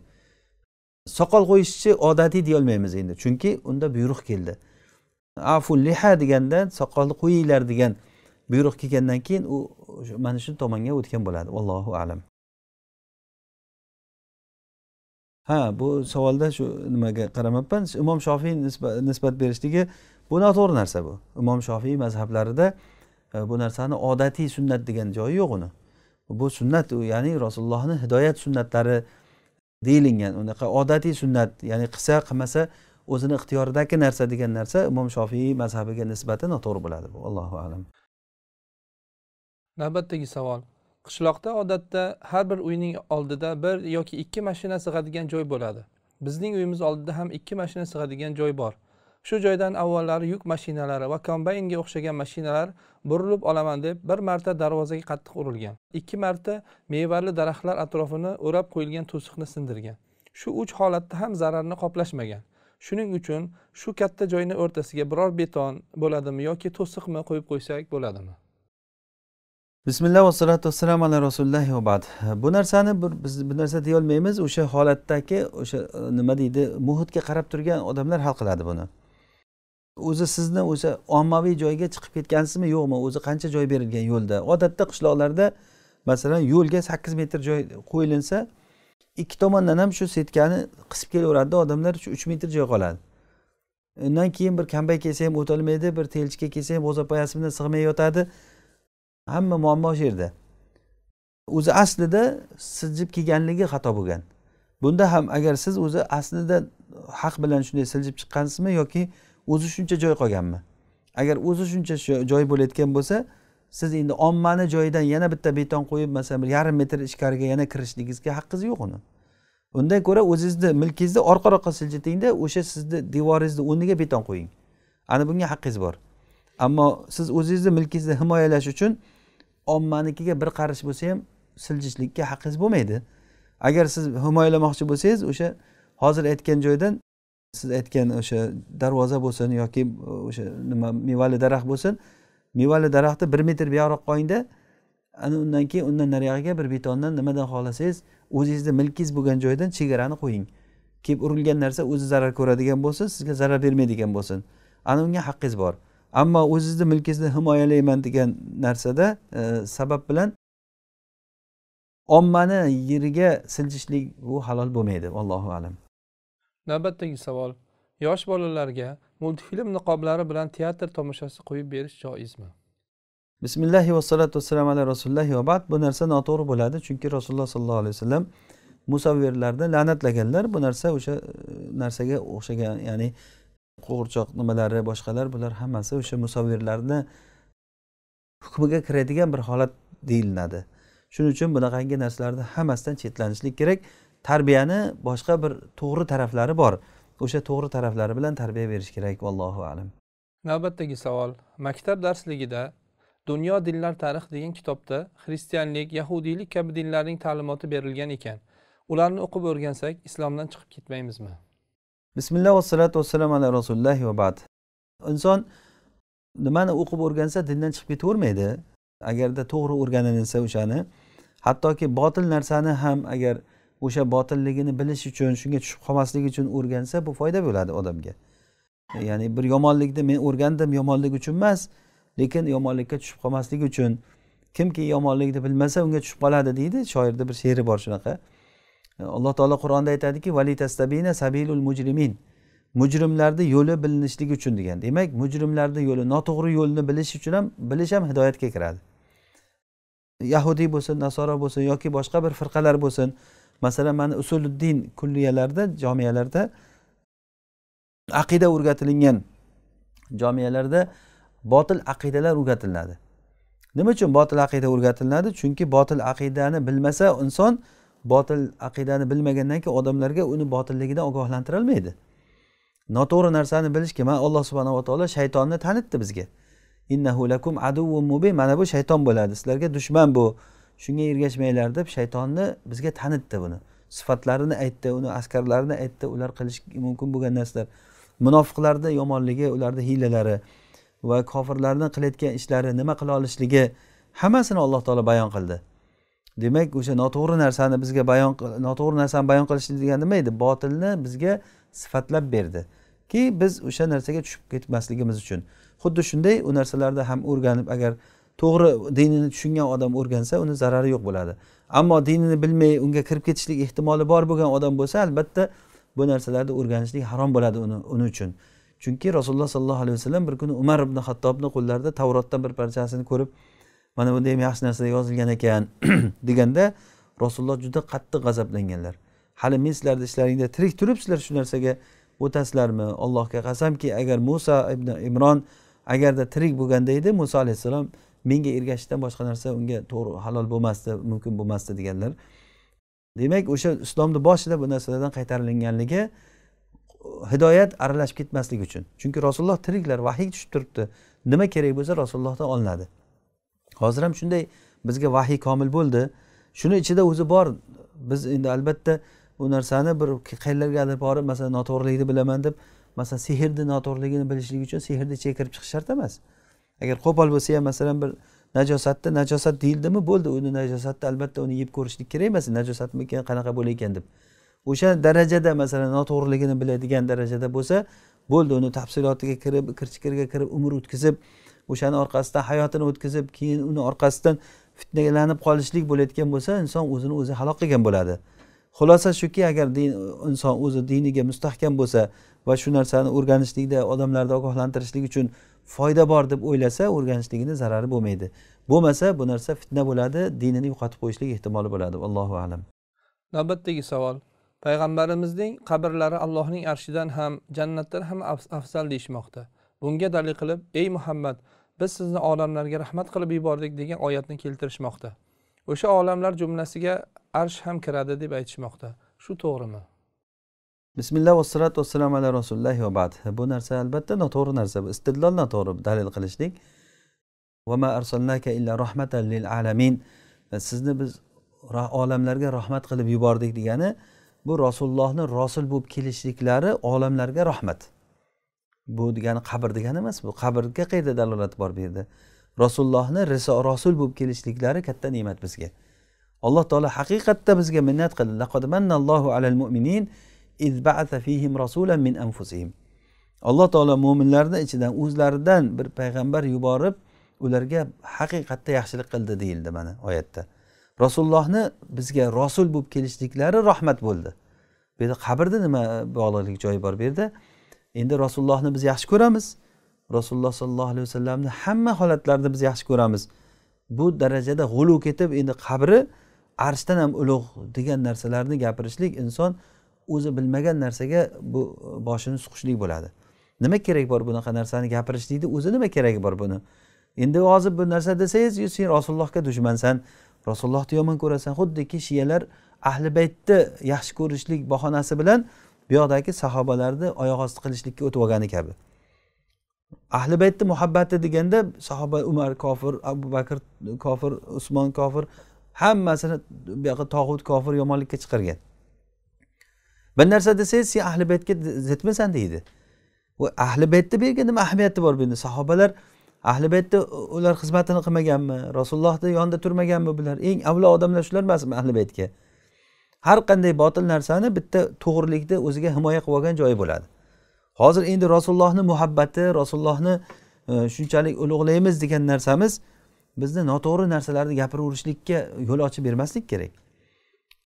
Bu degani rasulullohni olamlarga rahmat qilib jo'natdi degani rasulullohni qabri arshdan ham ulug' bo'ldi degan gapga dalil bo'lmaydi bu yerda. Unaqangi narsaga umuman uzoqdan ham yaqindan ham buni bir ma'nosi chiqmaydi buni. Endi buni yo'q bunday dema desa sen rasulullohni yomon ko'rasanmi sen? Oyatga qarshimisan degan gaplar gapirilaversa bu istidlol o'zi shuning uchun ham o'zi dalil keltirishlikda ilmiy nuqtai nazardan qarab uni dalil bo'ladimi yo'qmi? Oyat hamma narsa oyat bo'lsa bo'ldi har joyga tushaveradi degani emas bu. Rasulullohni bu oyati rasululloh sollallohu alayhi vasallam haqida aytilingan oyat va arsalnaka illa rahmatan lil alamin degani rasulullohni rasul bo'lib kelishliklari butun olamlarga rahmat bo'ldi. Haqiqatda rahmat rasulullohni rasul bo'lib kelishliklari rahmat. Qabrda nima bu yerda e, bog'liqlik joyi bor bunga. Allohil mustaan ya'ni bunaqangi narsalarni ya'ni befoyda narsalarni odamlar o'rtasiga chiqarib buni orqasidan ikkita toifa bo'lib musulmonlar bir birini tortishligi malomatlashishligi juda ham xato katta xatolardan bu allohu alam. Navbatdagi savol. Hozirda payg'ambarimiz sollallohu alayhi vasallamning tug'ilgan yillari bilan nomerlangan mashinalar ko'payib ketdi. Shunday nomer taqib olsa avariya bo'lsa ham shu nomerdagi mashinaga hech narsa qilmas ekanmish. Asraguvchi allohning o'zi emasmi? Bismillahi vassalotu vassalam ala rasulillahi va bad. Bu narsa noto'g'ri narsa. Rasululloh sollallohu alayhi vasallamni hatto kiyimlarini kiyib olgan bo'lsa ham insonga zarba bo'lsa bo'laveradi. Masalan rasulullohni o'zlariga zarba bo'lmadimi? Boshlariga dubulg'a kiygandilar masalan uhud jangida o'zlariga zarar kelmadimi masalan? O'sha kiygan dubulg'alarni o'zi temirlari rasulullohni yuzlariga kirib ketgan muborak yuzlariga. Shuning uchun bunaqangi narsalarni inson ya'ni qayoqdagi narsalarni gapirib yurmaslik kerak. Mo'min kishi aqlli odam bo'lishi kerak. Bu narsalar chiqishligini sababi ollohni sunnatlarini dinni tushunmaslikdan kelib chiqadi. Rasulullohga bo'lgan muhabbat va dinni tushunmaslik ana shu ikkosidan shunaqangi gaplar kelib chiqadi. Buni chiqarayotgan odamlar rasulullohni yaxshi ko'rishligi mumkin. Rasulullohni yaxshi ko'ramiz degan davo bo'ladi. Lekin buni o'zi bilan kifoyalanmaydi. Bu dinni tabiatiga dinga to'g'ri keladimi? Yo'qmi? Bunga qarash kerak. Rasulullohni o'zlariga mana kiyimlarida turib e, zarar bo'ldimi? Endi rasulullohni kiyimini kiyib olsak masalan rasulullohni savutlarini kiyib olsak bo'ldi menga hech narsa bo'lmaydi o'q otsa ham endi menga o'q tegmaydi deb kim ayta oladi buni? Hech kim ayta olmaydi buni. Sahobalar bunaqangi aqidani tutmaganlar. E, shuning uchun biz bu narsalarda g'ulu ketmaslik kerak. Rasululloh sollallohu alayhi vasallam aytganlarki halakal mutanattiun. G'ulu ketuvchilar halok bo'ldi deganlar. Halok bo'lsin yoki halok bo'ldi. Haqiqatda dinda chuqur ketishlikka kiradi. Bu narsa rasulullohni yillarini moshinaga raqam qilib toqib olib buni avariya bo'lsa ham hech narsa qilmaydi degan gaplar bu ollohdan boshqa narsalarga inson himoyada yakanastainga zid narsa bu. Ya'ni sendangina madad so'raymiz demasdan boshqa bir raqamlardan hidoyat madad so'rash bo'lib qolyapti bu yerda. Bu aqidaga tavhidga teskari bo'lgan ishlar bo'lib qoladi. Muhimi bu narsalarda g'uluv ketmasligimiz kerak. G'uluv ketishlik mana shunaqangi yomon oqibatlarga olib keladi allohu alam. Navbatdagi savol. Men yolg'iz o'g'ilga turmushga chiqqanman. Turmushga chiqqanimga o'n yetti yil bo'ldi. Qayni singillarim kunora uyimizga kelishadi? Ular kelishganda qaynonamga xos xonalarda o'tirishi kerakmi yoki menga ajratilgan xonalardami? Sababi men har xil sharoitda bo'laman. Shuning uchun har safar uyimga kiringlar deya olmayman. Qaynonam bo'lsa ular mening uyimga kirishimni xohlaydi. Men nima qilsam to'g'ri bo'ladi. Bismillah vassalotu vassalamu ala rasulillohi va bad. Endi bu narsada baribir yaxshi muomala bilan qilib siz eringizni hurmati qayningizni hurmati o'sha xonadon hurmati qayinsinglilaringizga joy berib yaxshi muomala qilishingiz kerak. Men nasihatim shuki fe'lni sal kengroq oching. Alloh taolo o'zi fazli marhamatni beruvchi zot. Uyingizga kirgizing mayli ular eringizni hurmati uchun uyingizga kirgizing hech narsa kamayib qolmaydi. Bu dunyoni narsasi dunyoda qolib ketadi. Pelni kengroq oching mayli uni bolalari to'zitib ketsa o'shandan ajr savob umid qiling. Odamlar qanday ajr bo'lsin deb turib borib yetimxonalarda qancha yetimlarni boqadi xizmatini qiladi masalan. Ha masalan o'shandan olloh menga rozi bo'lsin deb turib qiladi. Qancha qancha ishlarni qiladi insonlar olloh rozi bo'lsin mendan deb. Shunaqangi ishlarni e, nima qilishlikda masalan inson e, savob umidida qilsin qancha qancha masalan e, ishlarni qilishlikka odamlar chiqib ko'chalarda bir musulmonlarga zarar bo'layotgan narsalarni yo'llarni tozalab tekislab qiladi. Hammamiz maqtaymiz shu odam mana qara bechora shuncha ish qilyapti olloh uchun deb. Sizniki ham mana shu ishlardan biri bo'lib qolsin. Ular kelib to'zitib ketsa siz o'sha narsani olloh uchun deb niyat qilib turib shunda tuzatib qo'yavering. Bu narsada ajr olasiz inshaalloh. O'sha uchun har bir qilgan ishingizga ajr savob bo'ladi. Qanday ajr bo'ladi? Chunki siz eringiz uchun eringizni hurmati uchun uni qarindoshlariga yaxshilik qilgan bo'lasiz. Shunda niyatingizni to'g'irlab olsangiz qalbingizni ozroq kengroq ochib shunday qilinsa inshaalloh hamma narsa o'z o'rni o'rniga tushib ketadi. Vallohu alam. Navbatdagi savol. Ustoz men yosh bolali ayol bilan oila qurmoqchiman. Bilishimcha dinimizda birovning bolasini bolam deyish yoki bola o'z otasidan boshqa insonni ota deyishi mumkin emas ekan. Men agar o'sha bolani boshqa bolalardan ajratmaslik niyatida o'g'lim deb katta qilsam u ham meni ota deb ulg'aysa bunga shariat nima deydi? Axir bolaga ota kerakku. Bismillah vassalotu vassalom ala rasulilloh va bad. Bu narsa to'g'ri bo'lmaydi bu qilgan ishingiz. Mehr ko'rsatish boshqa narsa uni sen meni bolamsan deyish boshqa narsa. Hozirgi kundagi bizni katta muammomiz bo'lib qolgan narsa shu bola asrab olish muammosi. Hamma joydan kelyapti bu savollar oldindan bo'lib kelgan. Endi nima qilaylik? Noqulaychilik holatlariga kirib qolingan. Yana bu narsa davom etmasin. Siz uni bolam demang mehr ko'rsating ota mehrini bering. Lekin uni to'g'ri ayting. Otalariga mansub qilib aytinglar degan alloh taolo uni. Ollohni buyrug'ini bajaraylik. Boshqasiga siz mas'ul emassiz. Uni siz bolam bolam deganingiz bilan sizga bola bo'lib qolmaydi u. U sizni ota degan bilan sizga bola bo'lib qolmaydi. Otasi bo'lib qolmaysiz. Uni otasi boshqa uni otasi qarash kerak uni mehrini ota mehrini otasi berish kerak. O'sha uchun ham ayol kishi o'zi aslida bolali ayol turmushga chiqqanda bolasi o'zi asli otaga berilishi kerak bo'ladi. Bir qovulda shunday. Endi albatta bu masalada ixtilofli masala qaralishi kerak bo'lgan narsalar. Agar ayol turmush qilayotgan bo'lsa farzandini ota oladi degan qovul ham bor fuqarolarda. Mana shunaqangi gaplar chiqmasligi uchun o'zi aslida farzand otaniki. Qiz bo'lsin o'g'il bo'lsin farzand otaniki. Bu ijmoiy masala. Farzand otaniki ekanligi. Lekin kim qaraydi unga deganda ixtilofli masala. Eng nima gap? Yaxshi gap buni bolani holatiga qayeri munosib bo'lsa o'sha joyga qo'yiladi degan narsa. Shuning uchun bunga bolaga ota kerakku degan gapingiz to'g'ri otani mehri kerak. Lekin bu deganiki otasi emas odam men seni otang bo'laman bugundan boshlab degani bilan hech narsa o'zgarmaydi. Va alloh taoloni amriga buyrug'iga xilof ish qilgan bo'lamiz.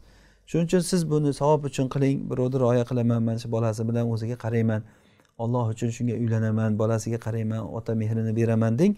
Lekin to'g'risini ayting. Men senga mana shu dindosh birodaringman. Sen bilan mana shunaqa holatda bir yaxshilikda yashaymiz inshaalloh. Otang falonchi bo'ladi u ham yaxshi odam. Deb uni otasi bo'lsa otasiga yo'l ochib bering kelib sizlarga rahm qilishligiga. Ana shunda siz ollohni rozi qilayotgan ishni qilgan bo'lasiz. Vallohu alam. Navbatdagi savol. Ustoz dadam meni yoshligimda tashlab ketgan qaytib ko'rmaganman. Onam boshqa insonga turmushga chiqqanlar. U inson meni farzandi qatori ko'rdilar. Ularni juda yaxshi ko'raman. Yaqinda to'yim bo'ladi. Nikoh vaqti ham boqib olgan otamning ismi aytilsa bo'ladimi? Bismillah vassalotu vassalamu ala rasululloh va bad. Yo'q albatta bunda o'zi qiz bola bo'lsa uni valisi otasi bo'ladi. Hatto er xotin ajralib ketgan bo'lsa ham vali ota o'zini otasi unga vali bo'ladi. Otani ismi aytilishi kerak. Ya'ni ismi aytilish degan narsa yo'q o'zi. Otani rozichiligini olish kerak. Nikoh paytida uni valisi kim? Otasi rozi bo'lishi kerakki falonchiga turmushga chiqyapti. U sizga yaxshilik qilgan erkak. Hozir onangizga uylangan odam. Alloh rozi bo'lsin. Ota o'rnida bo'lib sizga shuncha ne'matlar qilgan yaxshiliklar qilgan. Buning uchun alloh taolodan ajr oladi bu odam. Lekin bu deganiki sizga vali bo'lib qoladi degani emas bu. Alloh taolo har bir narsani o'zini joyini belgilab berdi. Har bir narsani miqdori bor har bir narsani o'zini qo'yiladigan joyi bor. Hozir bu ayol kishini valiysi o'zini otasi bo'ladi. Bu onasiga uylangan erkak bunga hech qachon vali bo'lmaydi.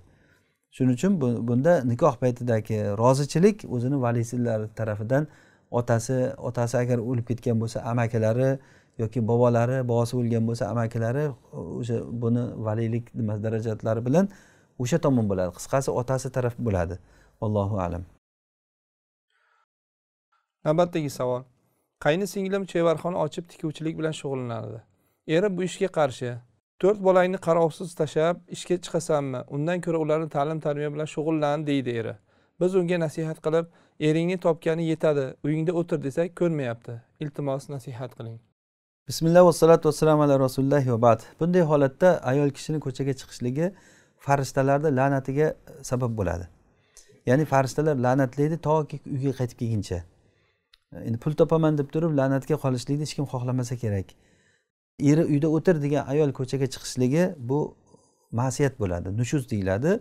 Agar mana shu holatda o'lsa ma'siyat holatda o'lgan bo'ladi. Shuning uchun ayol kishi ollohdan taqvo qilsin bunday holatda eri agar ta'minlayman deb turgan bo'lsa bolangga qara bu ne'mat emasmi bu? Uyda o'tirib bolalarga qarash yo bekor o'tiramanmi men? deydi. Ana bu narsa noto'g'ri tushuncha. Bizni farzand tarbiyasi haqidagi darslarimizda agar eshitilinsa shunda batafsil farzandni tarbiyalashlikda gapiryapmiz. Allohni fazli bilan bunda eng katta o'rin ayol kishini o'rni. Ayol kishi farzandlar mana to'rtta farzand olloh beribdi ekan ana shularni tarbiyalashlik u sex ochib katta katta pul topgandan ko'ra afzal narsa shu sizga ertaga foydali bo'layotgan narsa mana shu bo'ladi. Pulni ham toparsiz yerdan qilib borgandan keyin. Kuni bilan yoqda yurganda farzandlar ham o'shanga yarasha bo'ladi. Ollohni barakasi ham o'shanga yarasha bo'ladi. Shuning uchun ayol kishi bunaqangi holatda ollohdan taqvo qilsin. Pul bilan hayot bo'lmaydi pul bilan baxtli bo'lmaydi inson. Baxt saodat ollohni toati bilan bo'ladi. Ollohni toati hozir ayol kishi uchun erga itoat qilishlik bo'ladi. Eri uyda o'tir degan bo'lsa o'tirish kerak farzandlarni tarbiyalash kerak. Bu ham er, erga itoat qilishlik bo'ladi. Ham shariatni o'zi buyrug'i shu. Uyda o'tirib bolalarni tarbiyalashlik bu juda katta ayol kishini mas'uliyati. O'zini qilish kerak bo'lgan narsasini qilmasdan ko'chaga chiqib ketyapti. Bu holat o'sha farishtalarni la'natlaydigan holati bo'lib qoladi. Alloh taolo o'zi insof tavfiq bersin. Allohimma amin. Navbatdagi savol. Ustoz makka shahrida xurmoga o'xshagan meva bor ekan. Uni bolasi yo'qlar uchun keltirishar ekan va bolasi yo'qlar er xotin uni yeb danagini tovuqqa berib tovuq tuxumlasa shuni yer ekan. Yana bir qancha qiliqlari bor ekan. Iltimos shu haqida gapirsangiz shunday narsa bormi yo'qmi? Bismillah vassalotu vassalam ala rasulilloh va bad. Bunaqangi narsa yo'q. Buni ham o'sha nimadir olib kelib sotuvchi odamlarni o'ylab topgan narsasi. Bu tijorat qiluvchilar tijoratni o'ylaydida bu tijoratni o'tishi uchun xuddi haligi baqlajon sotuvchilar baqlajon haqida hadisni o'qiganiga o'xshab. Kim agar baqlajon yesa u jannatni qaysi eshigidan xohlasa kiradi. Bir kunda bir marta baqlajon yegan odamga sehr ta'sir qilmaydi unga jinlar uni qilolmaydi u bo'lmaydi bu bo'lmaydi. To'qima hadislar baqlajon haqida. Endi qovoq sotuvchi odam qovoq haqida hadisni o'qib chiqqan o'shanga o'xshagan narsa bu ham. To'qilib chiqqan narsalar bular o'sha sotuvchi odamlar makkada nimanidir olib kelib turib o'shani o'tkazish uchun unday qilsa unday bo'ladi bunday qilsa bunday bo'ladi deb din nomidan bu dinfurush degani shu o'zi dinni nomidan o'tkazib pul olib yeyishlik uchun qilingan narsa. Mo'minlar sodda mana shu narsani orqasidan unday bo'lar ekan. O'xshat nimani qarang keltirilgan to'qilgan narsani uni tovuqqa berish kerak tovuq tuxumlash kerak. O'sha tuxumni yesa keyin u bo'ladi bu bo'ladi. Bunaqangi narsalar hech qanday uzoq yaqindan shariatga aloqador joyi yo'q buni va dunyoviy sabablarga ham hech qanaqangi aloqasi yo'q bo'lgan narsalar bular. Bu faqatgina shu tijoratchilarni pul topish uchun o'ylab topgan hiyla nayranglari bo'ladi vallohu alam. Navbatdagi savol. Bomdod namozi sunnatini uyda o'qib farz o'qish uchun masjidga borish chog'ida yo'lda uchragan insonlar bilan gaplashish hatto salom berish ham kerak emas degan gap to'g'rimi? Bismillahi vassalotu vassalamu ala rasulillohi va bad. U darajada emas ya'ni biz rasulullohni sunnatlariga qaraydigan bo'lsak rasululloh sollallohu alayhi vasallam e, tahajjud namozini o'qiganlaridan keyin bomdod vaqtigacha ozroq yonboshlab yotganlar. Va keyin sunnatni o'qiganlar sunnatni yengil o'qiganlar sunnatni o'qigandan keyin orada boshqa narsa qilmaganlar. Ya'ni rasululloh sollallohu alayhi vasallam bomdodni sunnati bilan farzini orasida boshqa bir ortiqcha narsa qilmaganlar. O'sha rasululloh shuni qilmagan ekanlar degan narsani endi ushlab birov salom bersa ham haligi bo'lmaydi degan narsa noto'g'ri bu. Yoki sunnatni o'qigan odam masjidga borsa hali ular farzni o'qimagan bo'lsa u odam tahiyati masjid o'qiy oladimi? Yo'qmi? Sunnatni uyda o'qib keldi masjidga kirdi hali masjid ahli o'tiribdi. Farz hali boshlangan yo'q. Nima qilish kerak bu odam? Bu tahiyati masjid o'qisa bo'ladi bu odam bunday paytda. Chunki dalilda borki kimki masjidga kirsa ikki rakat namoz o'qimay o'tirmasin. Bu odam hali o'tirishga ehtiyoji bo'layotgan bo'lsa albatta tahiyati masjid o'qish kerak bo'ladi. E, salom bersa haligi olishlik buni ham vaqti tayinlangan narsa emas bu. Bomdodni sunnatidan keyin boshqa narsa bilan shug'ullanmaslik deganini biz mana shunday tushunishimiz kerak. Ya'ni bu darajada salomga ham alik olma boshqa ham qilma gapirma hatto hech bir og'iz gapirmasdan indamay yerga qarab masjidga ketish kerak degan gaplar bu darajada chuqur ketilinmaydi. Ya'ni rasulullohni sunnatlari o'zi sunnatni o'qiganlaridan keyin rasululloh farzgacha zikr qilib o'tirganlarda hech gaplashmagan ayollar bilan gaplashmaganlar. Chunki bomdod paytida o'zi e, bunday paytda gaplashishlik nimasi bo'lmaydi zikr qilishlik payti bo'ladi. Agar ehtiyoj bo'lib qolsa gapirishligi savolga javob berishligi salomga javob qaytarishligi birov haksirib alhamdulillah yarhamikalloh deyishlik bu narsalar mumkin ya'ni ehtiyoj uchun gapirsa bo'ladigan narsa bu. Allohu alam. Navbatdagi savol. Men oziq ovqat do'konida ishlayman. Do'konimiz oldida tamaki mahsuloti sotadigan do'koncha bor. Ko'p mijozlar mendan sigaret qayerda sotadi deb so'rashadi. Men bilmayman deb yuboraman. Men sigaret qayerda sotishini bila turib bilmayman desam yolg'onchi bo'lib qolmaymanmi? Agar qayerda sotishini aytsam gunohga sherik bo'lib qolamanmi? Bismillah vassalotu vassalam ala rasulilloh va bad. Albatta yo'l ko'rsatsangiz sherik bo'lasiz. Yo'l ko'rsatmasangiz endi yolg'onchi bo'layotgan holat bo'lsa yolg'on ishlatmangda unga tariz qiling. Ya'ni boshqa odamdan so'rab ko'ring deb qo'ying bo'ldi bilmayman demasangiz ham masalan. Boshqa odamdan so'rasangiz bo'lar deb qo'ysangiz ham bo'ladi masalan. Shunga o'xshagan bir tarizlarda yolg'ondan saqlanishlik bor. Tariz degani o'sha e, gapni e, ya'ni kinoya qilib gapirishlikda yolg'ondan qutulish yo'llari bor. Lekin yomonligiga sherik bo'lib qolib yo'l ko'rsatib ana yerda deb ko'rsatib qo'ysangiz yomonligiga dalolat qilib qo'ygan bo'lasiz. Agar gapirsangiz yolg'on gapirgan bo'lasiz. Shuning uchun dalolat ham qilmang yolg'on ham gapirmang. Yolg'on gapirmaslikni yo'li ko'p. Agar so'rasa bilmayman demasdan turib boshqa odamdan so'rasangiz bo'lar ekan degan narsani qilasizmi? Yoki shunga o'xshagan bitta gapni gapirib vaziyatdan chiqib ketilinadi. Vallohu alam. Navbatdagi savol. Bir do'stim aroq ichgan paytlari ko'pincha men olib ket mashinani ichgan holimda haydamay deb chaqiradi. Men borib mashinasini haydab olib kelaman. Shu ishim gunoh hisoblanadimi? Shu vaziyatda qanday yo'l tutsam to'g'ri bo'ladi? Bismillah vassalotu vassalamu ala rasulillohi va bad. Agar bunday holatda siz borib olib kelmasangiz bu odam bir halokatga tushib ketishlik holati bo'layotgan bo'lsa borib olib kelish kerak. Chunki musibat o'zi bu bo'ldi. Endi uni isloh qilishlik bo'lyapti. Sizni uni borib olib kelishligingiz isloh bo'ladi. Xuddiki bir arobiy masjidga kirib turib bovul qilgan siygan masjidga. Shunda siyib turgan holatda sahobalar uramiz deb hammasi turganda rasululloh tiymanglar deganlar.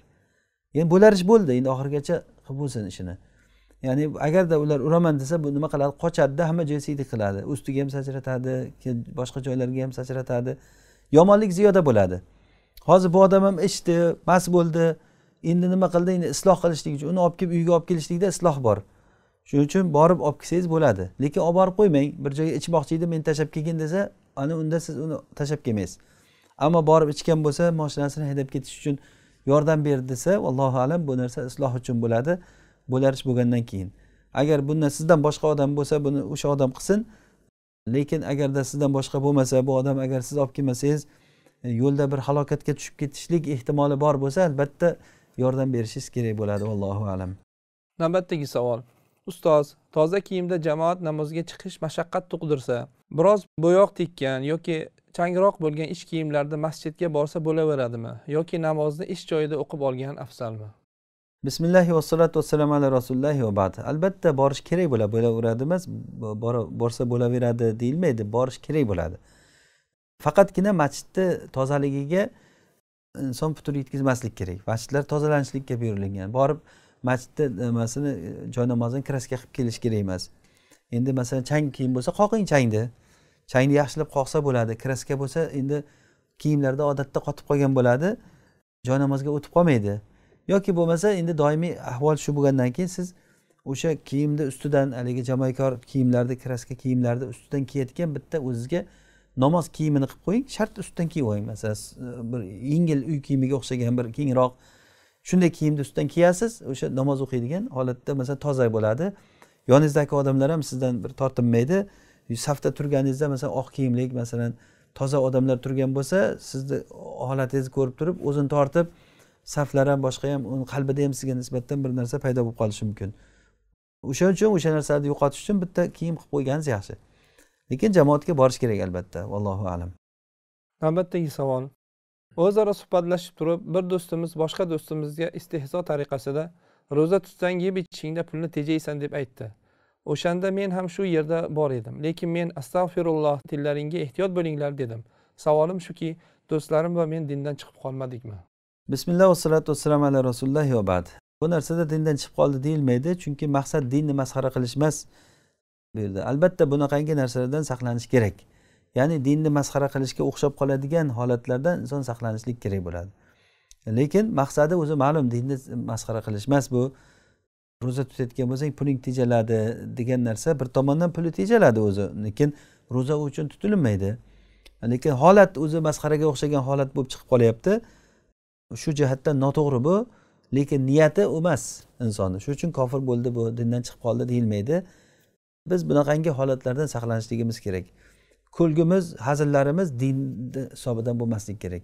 Ya'ni inson o'zi bilmagan holatda dinni ustidan kulib dindan chiqib qolishi mumkin. Masalan bir odam soqolini ustidan kulsa agar soqoli uchun dini uchun kulsa dindan chiqadi u odam. Ammo masalan uni shaxsi uchun kulayotgan bo'lsa fosiq bo'ladi. Shuni ajratib olish kerak. Masalan bir odamni ustidan masxara qilinganda shaxsi uchun bo'ladi yoki dini uchun bo'ladi. Agar din uchun bo'lsa dindan chiqadi odam. Chunki dinni masxara qilishlik bu dindan chiqarayotgan narsalardan ammo uni shaxsi uchun bo'layotgan bo'lsa unda dindan chiqmaydi fosiq bo'ladi. Bu bu holatda hozir aytilingan narsada o'zi innamal amal bi niyat amallar niyatlariga ko'ra bo'ladi. O'zi holatdan kelib chiqyaptiki dinni masxara qilish uchun aytmayapti bu odam. Hech kimni xayoliga ham kelmaydi buni. Lekin holat dinni masxara qilishlik holatiga o'xshab qolyapti. Shu jihatdan bu narsadan qat'an saqlanishimiz kerak. Dindan chiqdimi degan narsada javob yo'q. Dindan chiqmaydi bunday holatda allohu alam. Navbatdagi savol. Anchadan beri erim bilan yotadigan xonamizga qaynonam kirib olib biz bilan yotyapti. Erim onasiga hech narsa deya olmaydi. Bunday holatda shariatimizda qanday qaraladi? Erimni onasiga biron nima deyishga haqqi bormi? Biz nima qilishimiz kerak? Juda hijolatli holatdamiz.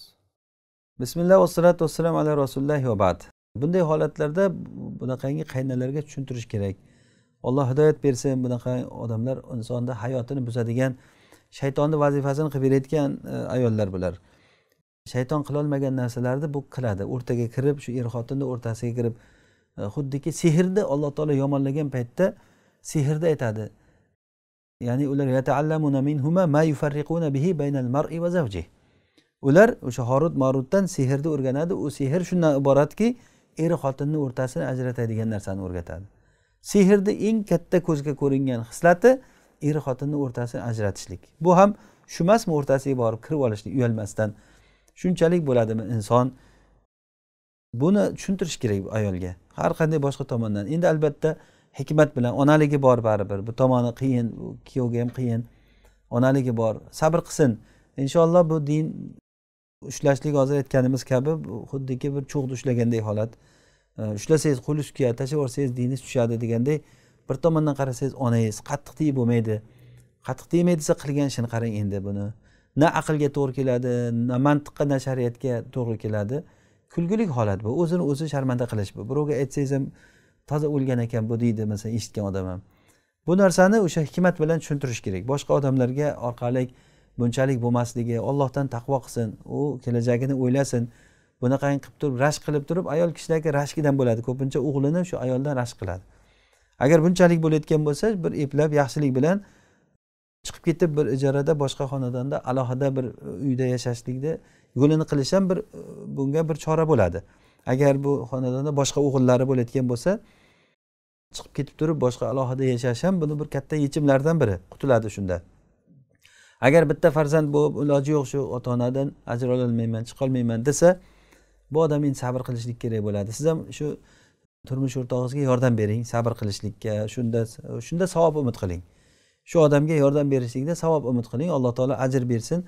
Men shunda shu erimni roziligi uchun hikmat bilan ish tutib shunga bir sabr qilamiz deng. Alloh taolo buni barakotidan shu ayolni ham qalbini ochib bir hidoyatlab qolar inshaalloh. Alloh taoloni qo'lidagi narsa bular. Allohu alam. Navbatdagi savol. Men taqdir taqozosi bilan chet elga muhojir bo'lib musulmon davlatga ko'chdim. Lekin bu yerda aroq do'konlar va tungi klublar ko'p ekan. Men va oilamning toat ibodatlarimiz qabul bo'lmaydimi? Bir birodarim nohaq azoblanayotgan mo'min mo'minalar va yosh bolalar bor ekan ibodatlar qabul bo'lmaydi deydi. Ustoz maslahat bersangiz nima qilay? Bismillah vassalotu vassalam ala rasulillohi va bad. Bu qayerga ko'chgan qanday bo'lgan bilmaymiz endi. U holatda o'zi aslida musulmon odam o'zini dinini saqlaydigan holatda qayerda diniga amal qilishni imkoniyati bo'lsa o'sha yerda yashash kerak. Shu o'zi aslida masalan bir joydan bir joyga ko'chib o'tishlikda o'zini shartlari bor. E, lekin shuni bilamizki bildik shuni judayam bu narsa tajribalar bilan bilindiki musulmon odam musulmon diyorda yashasin ekan. Musulmon diyorda yashasin masalan o'zbekiston musulmon diyor qirg'iziston musulmon diyor tojikiston diyor musulmon. Ya'ni atrof muhit hammasi islom. Musulmonlar xalqni ichida yashaysiz. Shu jumladan masalan turkiya ham shunday masalan musulmonlar e, yashaydigan joy. Ammo atrof muhitingiz dinsiz odamlar bo'lsa masalan g'arbga borib yashash yoki boshqa shunga o'xshagan joylarda bolalaringiz o'shalar bilan maktabda o'qiydi. Dinsiz odamlardan dars oladi o'shalarni bolasi bilan o'qiydi. Bu juda katta yutqizish bo'ladi. Bu katta yutqizish. To'g'ri masalan sizni diningizga amal qilganingiz masalan soqol qo'yganingizga boshqaga indamayotgan bo'lishi mumkin hech kim lekin farzandlarni inson yo'qotib qo'yayotganligini buni biz ko'ryapmiz hammasini. Rasululloh sollallohu alayhi vasallam aytganlari kabi mushriklarni orasida yashagan odamdan men voz kechdim deganliklari ya'ni bu hikmatini hozirgi kunda ko'rasiz buni. Bolalar o'shalar bilan mushriklarni bolalari bilan o'ynab katta bo'lgandan keyin ertaga qiziz voyaga yetgandan keyin bir begona bola bilan quchoqlashib o'tirsa ota borib turib sen nega bunday qilyapsan? Desa bu meni do'stim. Biz shunga e, hech qanday yaxshi niyatda o'tiribmiz. Ota e, odam bunchalik qaloq bo'lishi kerak emas. Yaxshi anavi bilan qabul qiling buni desa qizi voyaga yetgan qizi u ota o'ldi o'sha joyda degani. Ya'ni bu narsa bizga to'g'ri kelayotgan narsa emas bu. Bizda o'zbekchilikka to'g'ri kelmaydi islomga to'g'ri kelmaydi bu o'zbek mentalitetiga to'g'ri kelayotgan narsa emas bu. Mana shu narsalarni biz e, hozir mana shu yo'qotib qo'yapmiz. Ko'pincha yoqqa bu yoqqa pul topish uchun yo boshqa maqsadlarda yashaganda shu narsalarga e'tibor bermayapmiz. Bunga e'tibor berish kerak. Bolalaringiz musulmon diyorda yashasin. Ana o'shanda keyin ko'p narsalar inson ko'p yutuq bo'ladi. Atrofda o'ynaganda uni sheriklari maktabda o'qisa o'qigan bolalar musulmonlar farzandlari bo'lsin. O'shanda ko'p tarbiyaga ko'p ahamiyati bor narsa ekan bu. Endi atrofda aroq ichayotgan joylar bor boshqa bu hamma joyda bor bu. Endi aroq ichayotgan joyi yo'q joyda o'zi qiyin judayam. Endi to'g'ri bir joydan bir joy fasodi kamroq bo'lishi mumkin. Fasodi kamroq mana ruxsat etgan joylar ba'zi joylarda kamroq. Lekin o'ziga yarasha uni ham bir muammoli joylari bo'ladi. Hamma joyda o'ziga yarasha muammoli joyi bor. Shuning uchun e, mo'min odam xuddi asalari kabi bo'lishi kerak. Qayerda bo'lsa o'ziga manfaatli joyni olib o'zini foydasini o'ylash kerak bo'ladi. Rasululloh aytganlar kabi ihris ala ma yanfauka vastain billahi va la tajiz. Sen o'zingga manfaatli bo'lgan narsaga haris bo'lgin. Nima sizni diningizga dunyoyingizga manfaatli bo'ladi? O'zingizni foydangizni o'ylang farzandlaringiz o'zingiz. U atrofda mana endi aroq sotilyapti ekan degani uni sizga nima ahamiyati bor? U aroq sotilayotgan bo'lsa siz unga sherik emassiz boshqa emassiz. Ollohni balosi kelib qoladi unga desa endi bu hamma joyda masiyat bo'lib yotibdiyu hozir. Siz shuning uchun o'sha diningizni qayerda o'rganishlik hayotingizni yaxshi yashashlikda imkoniyati bor bo'lsa o'sha joyga qarab harakat qilasiz. Vallohu alam. U ham shuni bittasi. U nohaq azoblanayotgan mo'min mo'minalar aroq ichilinyapti livatobozlik bo'lyaptimi boshqa bo'lyaptimi? Siz agar o'zingiz to'g'ri turgan bo'lsangiz boshqa odamlarni noto'g'ri narsasi sizga ta'sir qilmaydi. Bunaqangi narsa olloh asrasin o'zi e, ma'siyatlar fujurlar hamma joyda bo'lib turibdi. Musulmonlarni boshiga kelgan narsa bu.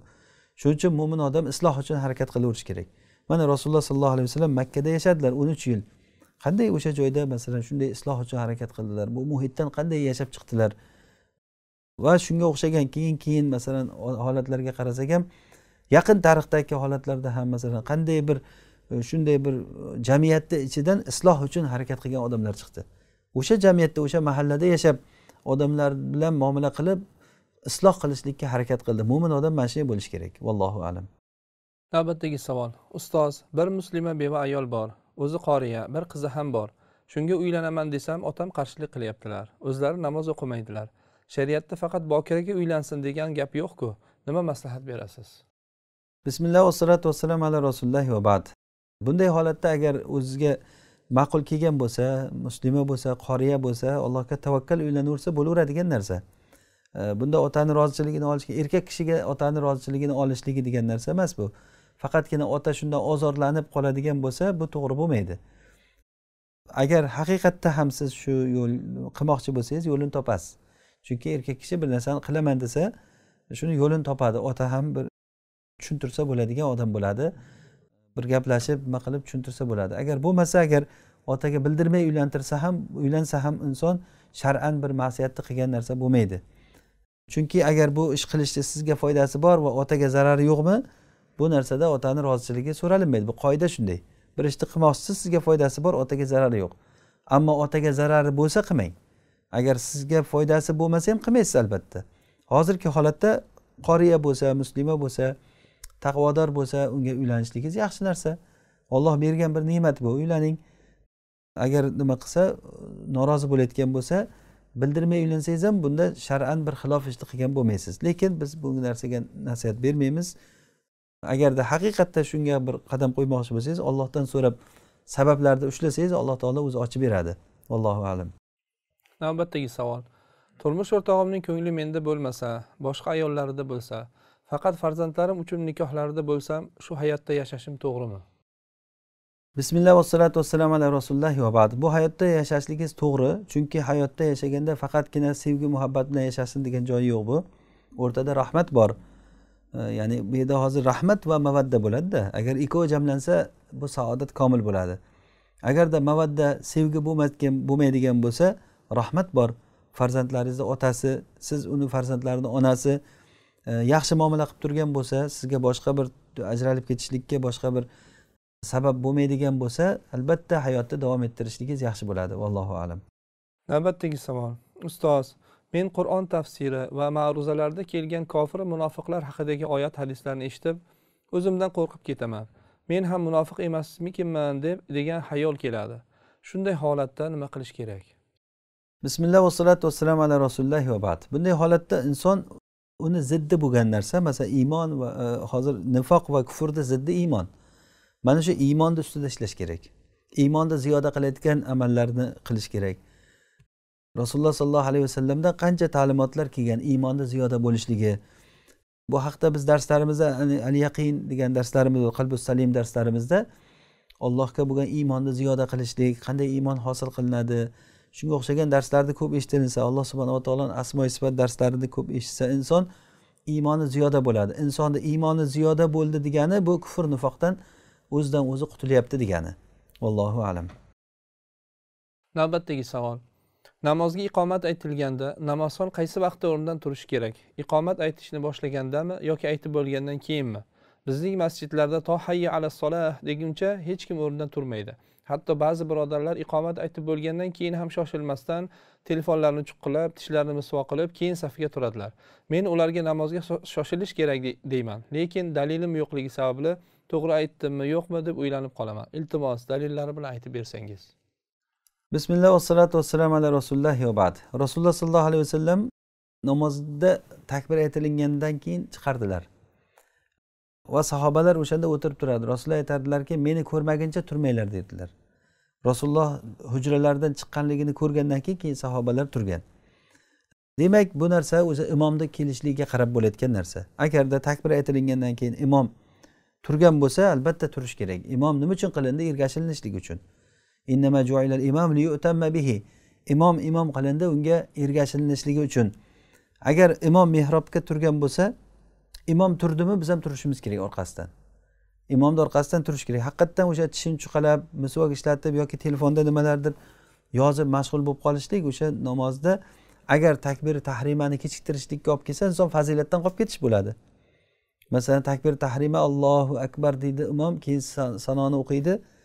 E, ungacha bu odam misvoq qilib tursa keyin imom fotihani boshlab yuboradi masalan jahriy namozda bo'lsa bu takbir tahrimadan qoldi bu odam. Katta fazilatdan qolgan bo'ladi. Shuni mana bu o'sha dalillardan hozir aytadiganingizga aytyapman buni. Shu narsalarga yetishadigan darajada bo'lishi kerak. Shariatda qachon tursin degan joyi kelmagan. Endi fuqarolarni ishtihodi bu. Masalan mana muxtasarda sodir sharia aytadi. Va yaqulul imamu val qavmu inda qavlihi hayya ala sola ya'ni imom va qavm hayya ala solah deganda turishadi. Va yashrau fi sola inda qavlihi qad qomat solah ya'ni qodi qomat solah deganda namozga kirishadi degan. Muxtasarda shu matnda aytgan sodir sharia ya'ni qad qomat sola deganda hamma turadi. Hayya ala solah hayya al falah deganda turadida qad qomat sola deganda namozni boshlab yuboradi degan bu bir ishtihodiy gaplar bular. Bunaqangi narsalarda bir ochiq dalil kelmaganki falon vaqtda turadi degan narsa emas. Ya'ni takbir aytilingandan keyin rasululloh sollallohu alayhi vasallam chiqquncha ham qarab turilgan. Ba'zan rasulullohni ko'rgandan keyin keyin turinglar dedilar rasululloh. Sahobalar keyin rasulullohni ko'rib turdilar. Demak bu yerda ibrat imom bilan bo'ladi. Imom agar mehrobda turgan bo'lsa takbir aytilinganda imom turdimi biz ham turishimiz kerak. Imom turgan imomga ergashishligimiz yaxshi bo'ladi bunday holatda. Imom turgandan keyin takbir aytib bo'lindi. O'shandan keyin ham imom allohu akbar degandan keyin bu odam hali yoqib hali bu yoqib kechiktirsa takbir tahrimani fazlidan qolib ketadi. Shuning uchun imomni orqa orqa imomdan ergashishlik to'g'ri bo'ladi va yana hozir savol beruvchi aytgan gaplari to'g'ri. Haqiqatdan vasariu ila mag'firati min robbikum bu narsa ollohni mag'firatiga shoshilinglar degan narsaga kiradiki ibodatni o'sha shoshilishlikka kiradi imomni orqasidan qolib ketmaslik. E, ham ham yana ko'rinishda bir xuddiki e, namoz yoqmagan odamdek boshqa narsalar bilan u yoqqa bu yoqqa tashlab unga qarab bunga qarab telefonni ochib olib turib bir narsa ko'rib o'tirgan bo'lsa imom boshlayapti bu oxirigacha ko'rib tugatib olsa shuni. Yoki bir eshitayotgan narsasini oxirigacha eshitib olsa imom namozni boshlab yubordi. Bu namozga e'tiborsizlikka dalolat qilayotgan narsalardan. Eng yomoni takbir tahrimani fazlidan qolib ketib qoladi inson. Allohu alam. Navbatdagi savol. Erim menga ko'p bora taloq bergan. Ba'zilarini tan olib nikoh o'qitgan. Lekin nikoh o'qigan mullaga safarda uzoq qolib ketdim. Shuning uchun nikohni yangilayapman deb o'qitardi. Bunaqa qiliqlari ko'payib ketdi. Mening hisobim bo'yicha yetti martacha taloq bergan. Men yashamayman o'rtamizda nikoh yo'q desam ichgan paytlarim aytganman bunday taloq o'tmaydi deyapti. Ichgan paytdagi taloq o'tmaydimi? Bismillah vassalotu vassalam ala rasulilloh bad. Agar haqiqatdan ham ichgan bo'lsa mast bo'lsa mast odam taloq o'tmaydi. Agar mast bo'lgan bo'lsa mast odamni taloq o'tmaydi. Shuning uchun shuni buni yaxshilab o'rganish kerak. Endi agar hiyla nayrang qilib turib mast edim deb bahona qilayotganligini bilsangiz siz mast mast bo'lib turib o'zida payti taloq qilganligini bilsangiz bu holat uch marta takrorlangan bo'lsa yashamang bunday holatda. Yashashlik zino bo'ladi. Agarda haqiqatdan mast bo'lgan bo'lsa unda taloq tushmaydi.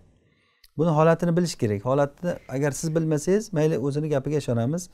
Agarda siz bilsangiz bilgan holatingizda bunday holatda davom etishligingiz to'g'ri bo'lmaydi. Ya'ni u mastmi mast emasmi bilasizku yashaga birga yashagandan keyin. Agar yo men bilolmaganman uni bir ichganga o'xshab turardi desangiz demak o'zini gapi bo'ladi. Mast holatda bo'lgan bo'lsa mast kishini talog'i tushmaydi. Vallohu alam. Navbatdagi savol. Qarzim juda ko'p. Rossiyaga kelganimga ikki yil bo'lyapti. Ota onamni judayam sog'indim. Nima qilay? Qarz uzish uchun ishlayveraymi yoki ota onamni borib ko'rib kelaymi? Bismillahi vassalotu vassalamu ala rasulillahi va bad. Agarda ota ona shu yurishingizga rozi bo'lsa telefonda gaplashib ularni rozichiligini olib qarzni uzish uchun harakat qilsa ham bo'ladi. Bu narsaga uni qiyin buni qiyin deyish og'ir narsa birovni haqida. Agar ota onada telefon bilan gaplashib turilgan bo'lsa ham man qarzlarim uzayapman rozi bo'linglar borolmayapman desa yo bolam ishlaverdim bo'lsa ham shu yengillatganing hisob desa bunda uzoq yillar bo'lib ketsa ham bunda sizlar rahmni uzgan bo'lib qolmaydi. Chunki ular o'zlari bilib turibdi holatda ruxsat beryapti ishlayapsiz agarda shu qarzni uzishlikka ta'sir qilsa ishdan ajralib yoki pul ketib unda ishingizni davom ettirsangiz ham bo'ladi. Faqatgina ota ona bilan telefonda gaplashib shularni rozichiligini olib. Allohu alam. Navbatdagi savol. Ustoz ibn taymiya rahimaullohning bir so'zlarini o'qib qoldim. Ikki kofirdan tug'ilgan bola musulmonlar ijmosi bilan bu dunyoda kofir hukmini oladi degan ekanlar. Buning dalili nima? Axir rasululloh sollallohu alayhi vasallam har bir tug'ilgan bola sof fitratda musulmon bo'lib tug'iladi deganlar. Shuni tushuntirib bering iltimos. Bismillah vassalotu vassalamu ala rasulullohi va bad. Aynan bu hadisda hozir siz aytgan hadisni davomi o'sha ibn tamiya aytgan gap chiqadi. Rasululloh aytdilarki kullu mavludin yuladu alal fitra. Har qanday tug'ilgan bola fitratda tug'iladi. Keyin hadisni davomida nima deyaptilar?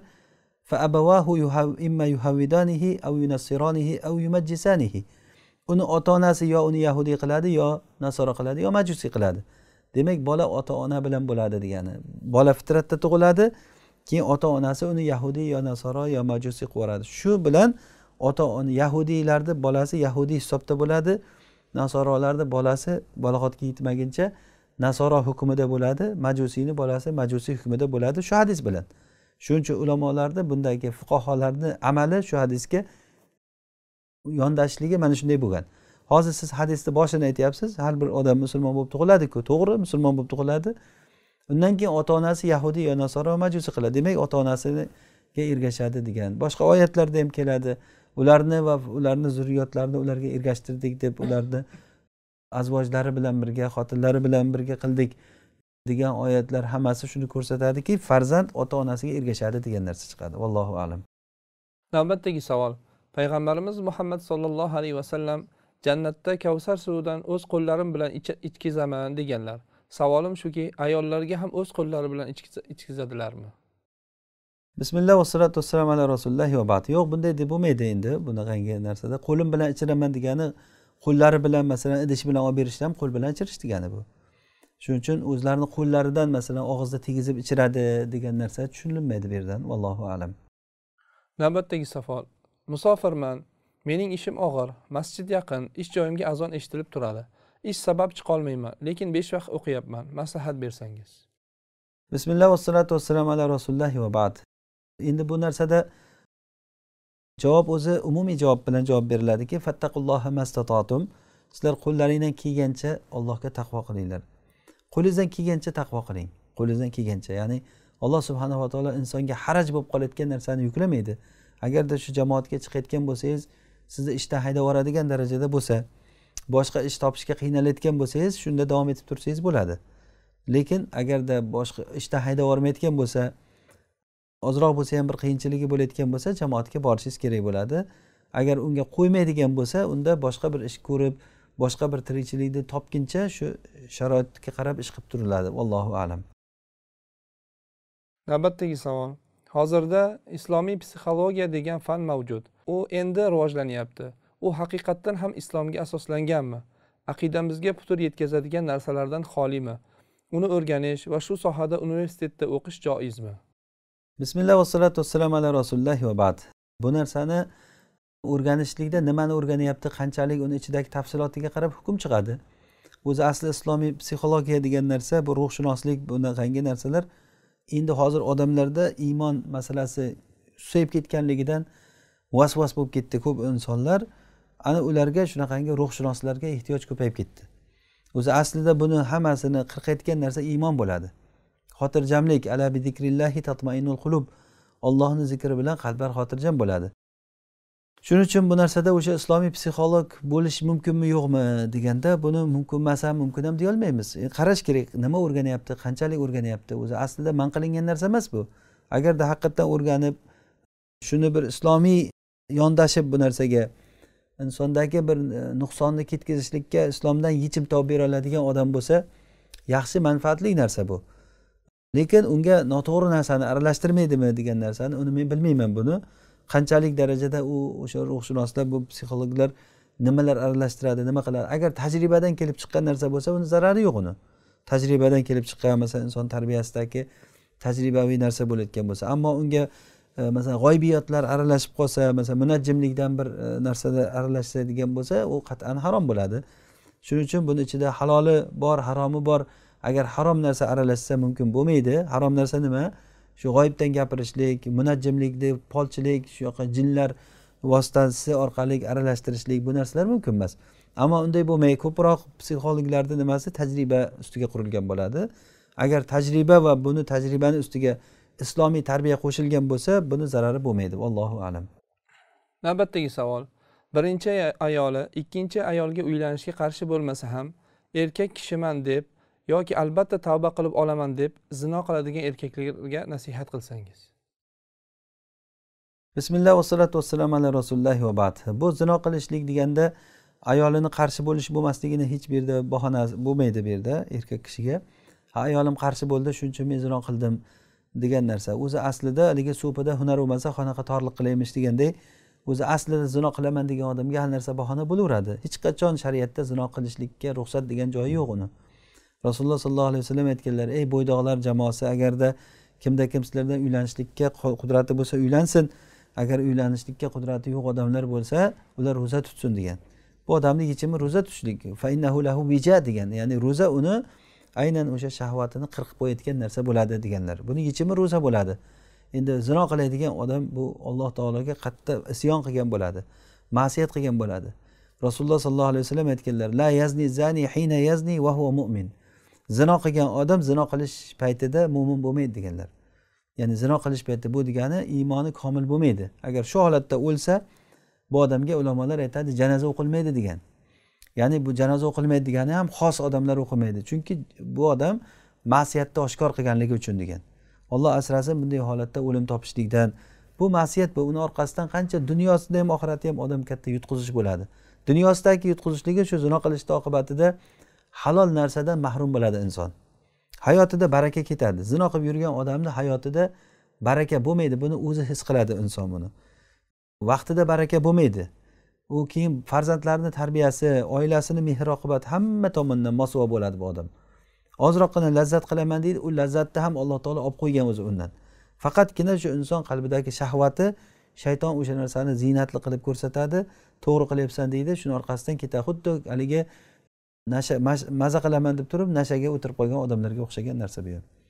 Shuning uchun bunaqangi holatlar hech qachon bir bahona bo'lmaydi xotinini qarshi bo'lish bo'lmasligi. Aytaylik xotini yo'q ham deylik. Xotini yo'q odam zino qilaversin degani emas bu. Uylanishlikka puli yo'q bo'lsa ham zino qilaversin degani emas bu. Hech qachon buni zino qilishlikka ruxsat bo'lmaydi. Buni davosi ro'za tutish kerak bu odam. Agarda shunchalik shahvati kuchli bo'lgan bo'lsa ro'za tutsin. Ishlasin ro'za tutsin. O'shanda inson o'z o'zidan joyiga kelib qoladi. Endi bu bahona qilaman degan odamga bahona bor. Halol aniq harom aniq kim nima qilsa qilaversin ollohni oldiga borganda javob beradi. Lekin shuni bilib qo'yish kerakki bu bilib turib zino qilishlik bu qalbni qoraytiradi bu. Haromligini bilib turib qiladi odamlar. Va tavba qilib olaman keyin degan narsa tavba qilolmay qolsa nima bo'ladi? U tavba qilgan bilan uni orqasidan kelayotgan narsalar nima bo'ladi? Kasal yuqtirib oladi. U kasallik keyin shu bilan butun shu oila bilan bo'lgan yaxshilik ne'matidan mahrum bo'ladi bu odam. Bir umr oilasi bilan mana shunaqangi jinsiy tomondan kelishmovchilik shunaqangi narsaga duchor bo'ladi inson. Shunga o'xshagan narsalar. Bu shaytonni gapi bu. Tavba qilib olasan keyin sen hozir qilavergin keyin tavba qilib olasan degan narsa aniq bu shaytonni yo'li bu. Allohu alam. Navbatdagi savol. Bizning diyorlarda moshina arendachilar ya'ni variantga beruvchilar dinni biladigan odamlar. Lekin ular o'ttiz qirq foiz hisoblab berishadi. Xaridor pulini to'lay olmasa moshinani sottirib pulini undirib olishadi. Foyda zararni emas faqat foydani o'lchashadi. Bu ish to'g'rimi? Bismillah vassalatu vassalamu ala rasululloh va bad. O'zi aslida variantga moshin berishlikda agar moshina purish odam bo'lsa o'zi masalan moshinalarni olib turib moshinani variantga berayotgan bo'lsa keyin bergandan keyin u odam agarda pulini berolmay qolayotgan bo'lsa keyin moshinani sottirib pulini undirib olishligi to'g'ri bu chunki o'zini haqqini olish bo'lyapti. Bu odam kelib turib shu masalan o'n ming dollarlik moshinani o'n besh ming dollarga olyapti. U aqlli odam o'zi qo'l qo'yib o'zi rozi bo'lib olyapti. Nega oladi bo'lmasa odam? Oldi olgandan keyin endi uni hech kim majburlab olib kelgan o'zi olyapti. Olgandan keyin keyin endi mindi ishlatdi yurdi yurdi moshina narxi tushib ketadi. Pulni berolmayapti. Bu odam o'n besh mingga savdo bo'ldimi bay bo'ldimi o'zini haqqini olishi kerak. Uni nimasiga? Moshinani o'zi nimaga qo'yilgan? Garovga qo'yilgan. Shu narsani o'zi garovda bu moshinani hujjati garovda bo'lishligi mumkinmi? Bu ixtilofli masala. Hozirgi muasir ulamolardan biz shu narsada bahs qilganimizda bir e'tiborga joyimiz shu bo'ldiki bunda ruxsat bo'ladi o'shani garovga qo'yishligi chunki haqqini undirib olishlik uchun. Shu moshinani o'zini sottirib bozorga qancha haqqi qolgan bo'lsa shu narsani o'ziga undirib olishligi mumkin bu xuddiki garovga qo'yilgan narsani sotib haqqini undirib olganga o'xshagan narsa bu. Faqatgina bu yerda o'sha variantga berishlikda bu odamni ishi o'zi variantga berishlik ishi bo'lsa bunga halol bo'ladi. Ammo ishi pul pulchilik bo'lsa masalan bankka o'xshagan buni ishi pulda odamlar keladi menga moshina olib bering deydi qani moshina hayla moshin magazin turibdi. E, boradi bo'ldi sen olgin deydida buni o'n mingni moshin nimaga beradi? Salonga. Bo'ldi sen mendan buncha qarzsan deb o'rtada uchinchi shaxs bo'lib turib oladi. Buni variant deydi shuni. Bu ribo bu bu narsalar ribo. Ya'ni pul berib pul olishlik degani bu. Ammo moshina sotuvchi masalan salonni o'zi bo'lsa masalan moshina sotuvchi o'zini ishi bo'lsa moshinalar sotib oldi bir odam. Yigirmata moshinasi bor. Shuni keyin endi variantga sotyapti bo'lib bo'lib odamlarga. Bu narsa bo'lsa joiz bo'ladi vallohu alam. Navbatdagi savol. Namozda sajda sahvdan so'ng ham salom berish kerakmi? Bismillahi vassalotu vassalamu ala rasulillohi va ba'd. Sajda savdan keyin salom berishlik bu ixtilofli masala. Bu masalada ish keng ya'ni ish keng degani ko'p e, yo'llari bor qaysini qilsa ham to'g'ri qilgan bo'ladi inson. Chunki rasulullohdan har xil e, naqllar kelgan bu borada. Hanafiy mazhabda salom berib sajda sahu qilib yana salom beriladi. Buni ham o'sha sahobalardan qilingan amallari keltirilgan. Bu narsalarda ish keng ya'ni qaysisini qilsa ham qaysi mazhabdagi narsani agar ergashib qilsa ham inshaalloh to'g'ri qilgan bo'ladi. Vallohu alam. Navbatdagi savol. Kelin uyida borishiga biror bir chegara bormi? Har hafta borishi shartmi yoki eri ruxsat berganda borishi kerakmi? Bismillah vassalotu vassalamu ala rasulillohi va bad. Er ruxsat berganda borish kerak. Ya'ni xotin kishi kelin erni ruxsatisiz ko'chaga chiqishligi mumkin emas lekin er qancha vaqtda ruxsat berish kerak? Deganda silay rahm uzilib ketmasligi uchun urf odat bo'yicha ruxsat berishga masalan yaqin xonadon bo'layotgan bo'lsa bir o'n besh kunda bir borsin masalan misol uchun deymanda bu bir um, o'lchab berish emas bu. o'n kundir o'n besh kundir masalan e, uni o'zaro o'sha urf odat bo'yicha masalan kelib kelib turadi oilasidan xabar olyapti deydigan holatda er o'zini xotiniga silay rahm qilishlikka imkon qilib berishligi kerak bo'ladi. Ammo shuni qilmasa er man qilib qo'ysa erni ruxsatsiz xotin kishi chiqishligi mumkin emas. Ammo er man qilib qo'ygandan keyin uzoq vaqt masalan ota onasini ko'rishdan man qilsa akalarini ko'rishdan man qilsa unda ma'siyatga o'tib ketadigan darajada bo'lsa silay rahm uzildi deydigan buni vaqti yo'q uni vaqti urf bo'yicha bunday qaraganda silay rahm uzildi deb biladi o'zi odam. Ana shunday holat bo'layotgan bo'lsa unda erga itoat qilmasdan ham chiqib ko'rib kelsa yoki akalari kelsa bunday tashqariga chiqib ko'rishib silay rahm qilishlikka haqqi bor. Chunki bu erni ollohga osiy bo'lishlikdagi holatda hukmi o'tmaydi. Allohu alam. Navbatdagi savol. Ba'zi musulmon diyorlarda diniy bag'rikenglik shiori ostida rahbarlar budda va shunga o'xshash narsalarni o'rnatishyapti. Buning hukmi nima? Diniy bag'rikenglik nima degani? Bismillah vassalotu vassalamu ala rasulillohi va bad. Diniy bag'rikenglik degani o'zi aslida kimki agarda islomga kiraman desa kirsin islomga kirmayman degan bo'lsa kirmasin. O'zi kirmay qolish ixtiyori bor yahudiy bo'lsin nasoro bo'lsin musulmonlarni qaramog'ida yashayveradi u odam degani. Yoki la ikroha fid din.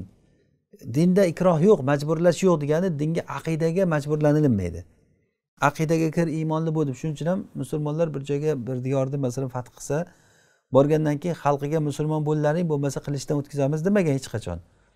Xalqi o'sha joyda musulmon bo'lmasa ham kofir bo'lsa ham qolavergan shu yerda musulmonlarni ichida yahudlar yashagan. Mana rasululloh sollallohu alayhi vasallamni qo'shnisi bo'lib yahudi yashagan masalan. Mana bu bag'ri kenglik degani. Bizni bag'rimiz yahudiyga ham nasoroga ham majusiyga ham bag'rimiz keng. Ochiq ular bilan muomala qila olamiz biz. Diniy bag'ri kenglik degani biz o'sha dinimiz islom bo'lgandan keyin islomdan boshqa odam bilan muomala qilolmaymiz degani emas bu. Muomala qila olamiz. Yahud bilan qo'shnimiz yahudiy bo'lsa o'sha bilan muomala qilib yaxshi muomala qila olamiz kerak bo'lsa. Hattoki shu darajada bo'ldiki yahudiydan xotin olsa bo'ldi. Hammamiz bilamiz buni. Nasorolardan xotin olsa bo'ladi odam.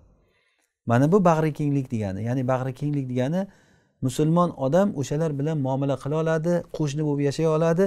Hattoki bitta to'shakda er xotin bo'lib ham yashay oladi. Mana bu bag'ri kenglik degani bitta davlatda davlat rahbarini fuqarolari ichida mana shunday odamlar bo'lsa ham ularni hammasiga hukmron bo'lib turib shunday yashay oladi degani. Diniy bag'ri kenglik degani shu. Lekin bu degani emaski mo'min odam diniy bag'ri kenglik degani xohlagan ishini qilaversin degan liberallik nimasi tushunchasi kelib chiqadi degani emas bu. Har kim odam xohlagan narsasini qilaversin. Masalan musulmon odam xohlasa muslima ayol ro'mol o'raydi xohlamasa o'ramaydi. Diniy bag'ri kengligi yo'q bu bu emas bu noto'g'ri tushunish bu. U xohlaydimi xohlamaydimi? Ro'mol o'rash kerak. Yoki bir odam musulmon bo'lsa uni xatna qilish kerak. Yo'q men xohlamayman buni desa ha o'zing bilasan bu shaxsiy masala deyilmaydi uni xatna qilinadi. Yoki bir odam masalan bitta ayolni olib kelib olib turib yashayapti. Masalan aytaylik bir oltita xotin olib olgan bittasi. Ha desa men shuni kelishganman hamma xotinlar bilan shu bilan yashayapman. Bag'rikenglik bo'ldi xohlaganingni qil deyilmaydi. Unga aralashadi. Hukumat unga aralashadi. U to'xta shariatga xilof qilyapsan chiqar ikkitasini to'rtta bilan qolasan. deb turib unga majburlaydi shu narsani. Bo'lmasa u zinokor bo'ladi. Bu odam olib kelibdi masalan bag'ri keng deb turib xohlamayman zino qilaman desa zino qilaver. Bu seni ishing bu. deyilmaydi. Unga albatta shar'iy buni hukmda ijro qilinadi. O'g'irlik qilaman desa qilaver deyilmaydi. Unga shar'iy hukmda ijro qilinadi.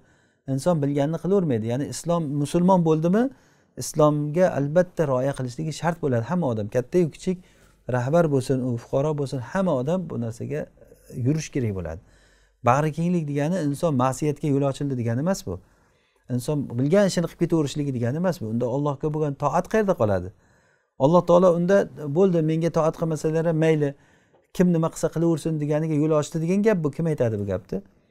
Unda musulmon degan tushuncha qolmaydi. O'zi aslida islom tushunchasi nima degani? Musulmon degani taslim bo'lgan odam degani. Alloh taologa taslim bo'ldik biz. Musulmonmizmi? Ollohga taslim bo'ldik. Ollohga taslim bo'ldikmi? Bizda ixtiyor qolmadi. Alloh taolo nima buyurgan bo'lsa shuni qilamiz. Ollohni buyrug'ini qilishlikda bizni ixtiyorimiz mana shu o'zimizni ixtiyorimiz bilan qilamiz shu narsani. Agar ollohni buyrug'i bo'lmagan joylarda masalan alloh taolo buyrug'iga xilof bo'lgan joyda o'z ixtiyorimiz bilan bo'ldi men buni qilgim kelmayapti deyish mumkin emas mo'min odamga bunga oyatlar bor kimda kim agar buni teskarisini gapirsa dindan chiqadi bu ijmoiy masala bu bunda islomda bir ikkita odam xilof qilgan narsa emas bu وما كان لمؤمن ولا مؤمنة إذا قضى الله ورسوله أمرا أن يكون لهم الخيرة من أمرهم mo'mina mo'min kishiga va mo'mina ayolga olloh va rasuli bir narsani buyursa ularda ixtiyor bo'lishligi mumkin emas Mana bu bag'rikenglik deganini biz qanday tushunishimiz kerak? Biz mo'min o'laroq yahudiy bo'lsin nasoro bo'lsin majusiy bo'lsin masihiy bo'lsin hammasi bilan muomala qila olamiz degani. Lekin bu degani emaski mo'min odam xohlagan ishini qilaversin degan narsa tushuncha noto'g'ri bo'ladi. Vallohu alam. Navbatdagi savol. Agar choy yoki boshqa biror ichimlikni piyolasini yoki stakanni bir biriga urishtirib ichsa aroq ichgan gunohini oladimi? Bismillahi vassalotu vassalamu ala rasulillahi va bad. Albatta bunda gunohini oladi chunki gunoh shuki man tashabbaha biqavmin fahuva minhum. Hadisda rasululloh sollallohu alayhi vasallam aytdilarki kimki agar bir qavmga o'zini o'xshatsa u o'shalardan u ma'siyat qilgan odamlarga o'zini o'xshatyaptimi? O'xshatgan odam ma'siyat ahlidan bo'ladi. Rasululloh sollallohu alayhi vasallam hadisda aytadilarki odamlar to'rt toifa bo'ladi. O'shalardan biri borki ma'siyat qilolmaydi lekin ma'siyat qilgan odamlarga havasi keladi. Ular ikkovsi bir xil deganlar. Demak bu ma'siyat qilolmagan bilan choyda urushtirib ichgan odam aroq ichgan odamga havas qilyapti. Qalbidan o'sha narsaga muhabbat va rozichilik bo'lyaptimi? Qalbdagi o'sha muhabbati rozichiligi o'sha bilan amalda e, gunohida sherik bo'ladi degani bu. Vallohu alam. Navbatdagi savol. Bandam menga yurib kelsa men yugurib boraman degan hadis sahihmi? Agar sahih bo'lsa uni qanday tushunamiz? Bismillah vassalotu vassalam ala rasulillohi va bad. Bu hadis qudusiy bu. Bu narsa sahih hadis bu ya'ni hadis qudusiy degani alloh taolodan rasululloh rivoyat qilgan hadis sahih hadis bu qudusiy hadis. Alloh taolo aytadiki agar bandam menga yurib kelsa men unga yugurib boraman degani olloh subhanahu va taolo bandani harakat qilib ollohga intilsa alloh taolo undan ko'ra ko'proq unga inoyat berishligi degani. Bu haqiqatda ham alloh taolo unga qarab yuguradi deb hech kim tushunmaydi buni. Chunki alloh taoloni unga qarab yuguradi degan narsasi hozir o'zini siyoqidan o'zi tushuniladi. Alloh subhanava taologa ishlatilinganda shu narsa shunday tushuniladiki agar banda ollohga qarab sayr qildi masalan hozir ollohga qarab yurdi deganni qanday tushunamiz?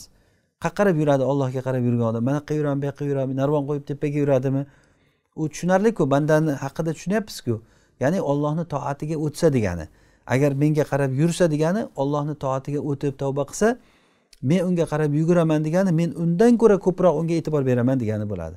Vallohu alam. Navbatdagi savol. Ustoz echkining bolasi itni emib katta bo'lsa go'shti halolmi? Bismillah vassalotu vassalamu ala rasulillahi va bad. Agar bunday bo'layotgan bo'lsa bu jallala hukmida bo'ladi. Jallala degani axlat yeydigan tuya yoki mollarni jallala deyiladi. Buni hukmi fuqarolar aytishganki agarda bir tuya yoki mol axlat yeydigan e, nima chiqarsa odat chiqarsa uni bir joyga qamab qo'yib to o'shani badanidan shuni harom narsa chiqib ketdi deydigan darajagacha borgandan keyin keyin yesa bo'ladi deyilgan. Buni ham o'shanday bo'ladi. Uni uzoq vaqtlar o't berib boshqa halol narsa berib katta qilingandan keyin uni itni emgan holati chiqib ketdi bo'ldi. Bu istihola deyiladi bu. Istihola degani bir turdan ikkinchi turga aylanib ketishlik. Xuddiki masalan dehqonchilikka masalan akramakumulloh mana odamni axlatini shunga oqizsa. Odamni axlatini oqisa o'sha odamni axlatidan u o'sha singib tuproqlardan mevaga o'tadi. Lekin o'shani kim harom deydi? Uni halol bo'lyapti. Chunki bu bir turdan ikkinchi turga o'zgaryapti. Uni echkini emganligi ham xuddi shu narsaga o'xshagan narsa. Lekin to'g'ridan to'g'ri bu hozir go'shtiga boshqasiga o'tganligi uchun bu jallala hukmida bo'ladi. Buni qamab qo'yib toza narsa berish kerak. Qancha kun bo'lishi kerak deganda fuqarolar ixtilofi bor ba'zilar qirq kun degan bundagi eng yaxshi nima? Allohu alam ko'z qarash odamni qalbi o'zi shunga xotirjam bo'ladiki shu toza bo'lib ketdi bo'ldi deydiganday mana kuchuk emgan qo'zi ekan deyilgan narsa qachon yo'qoladi? U katta bo'lib ketganda u yoshligida kuchuk emgan ekan desa u katta bo'lib ketgandan keyin uni badandagi kuchukdan asorati ham qolmay ketadi bir turdan boshqa turga aylanib ketgan bo'ladi. Allohu alam. Alloh rozi bo'lsin ustoz. Bugungi darsimizga ajratilgan vaqt o'z nihoyasiga yetdi. Alloh ilmingizni yanada ziyoda qilsin. allohdan so'raymizki allohim darslarimizni davomli va barakotli qilsin alloh taolo foydali ilmlardan bersin o'rgangan ilmlarimizga amal qilishlikka allohim tavfiq bersin hayotimizni qur'oni sunnaga muvofiq yashashlikni alloh taolo o'zi nasib qilgan bo'lsin hayotimizda iymon bilan allohga yo'liqadigan mo'minlardan qilsin hammamizni qiyomat kunida hammamizni nabiyinlar bilan siddiqinlar shuhado va solihinlar bilan firdavs jannatlarida birga qilsin هذا ما أعلم ربنا تعالى أعلى وأعلم سبحانك اللهم وبحمدك نشهد أن لا إله إلا أنت نستغفرك ونتوب إليك. صل اللهم وبارك على عبدك ونبيك محمد عليه الصلاة والسلام. والسلام عليكم ورحمة الله وبركاته.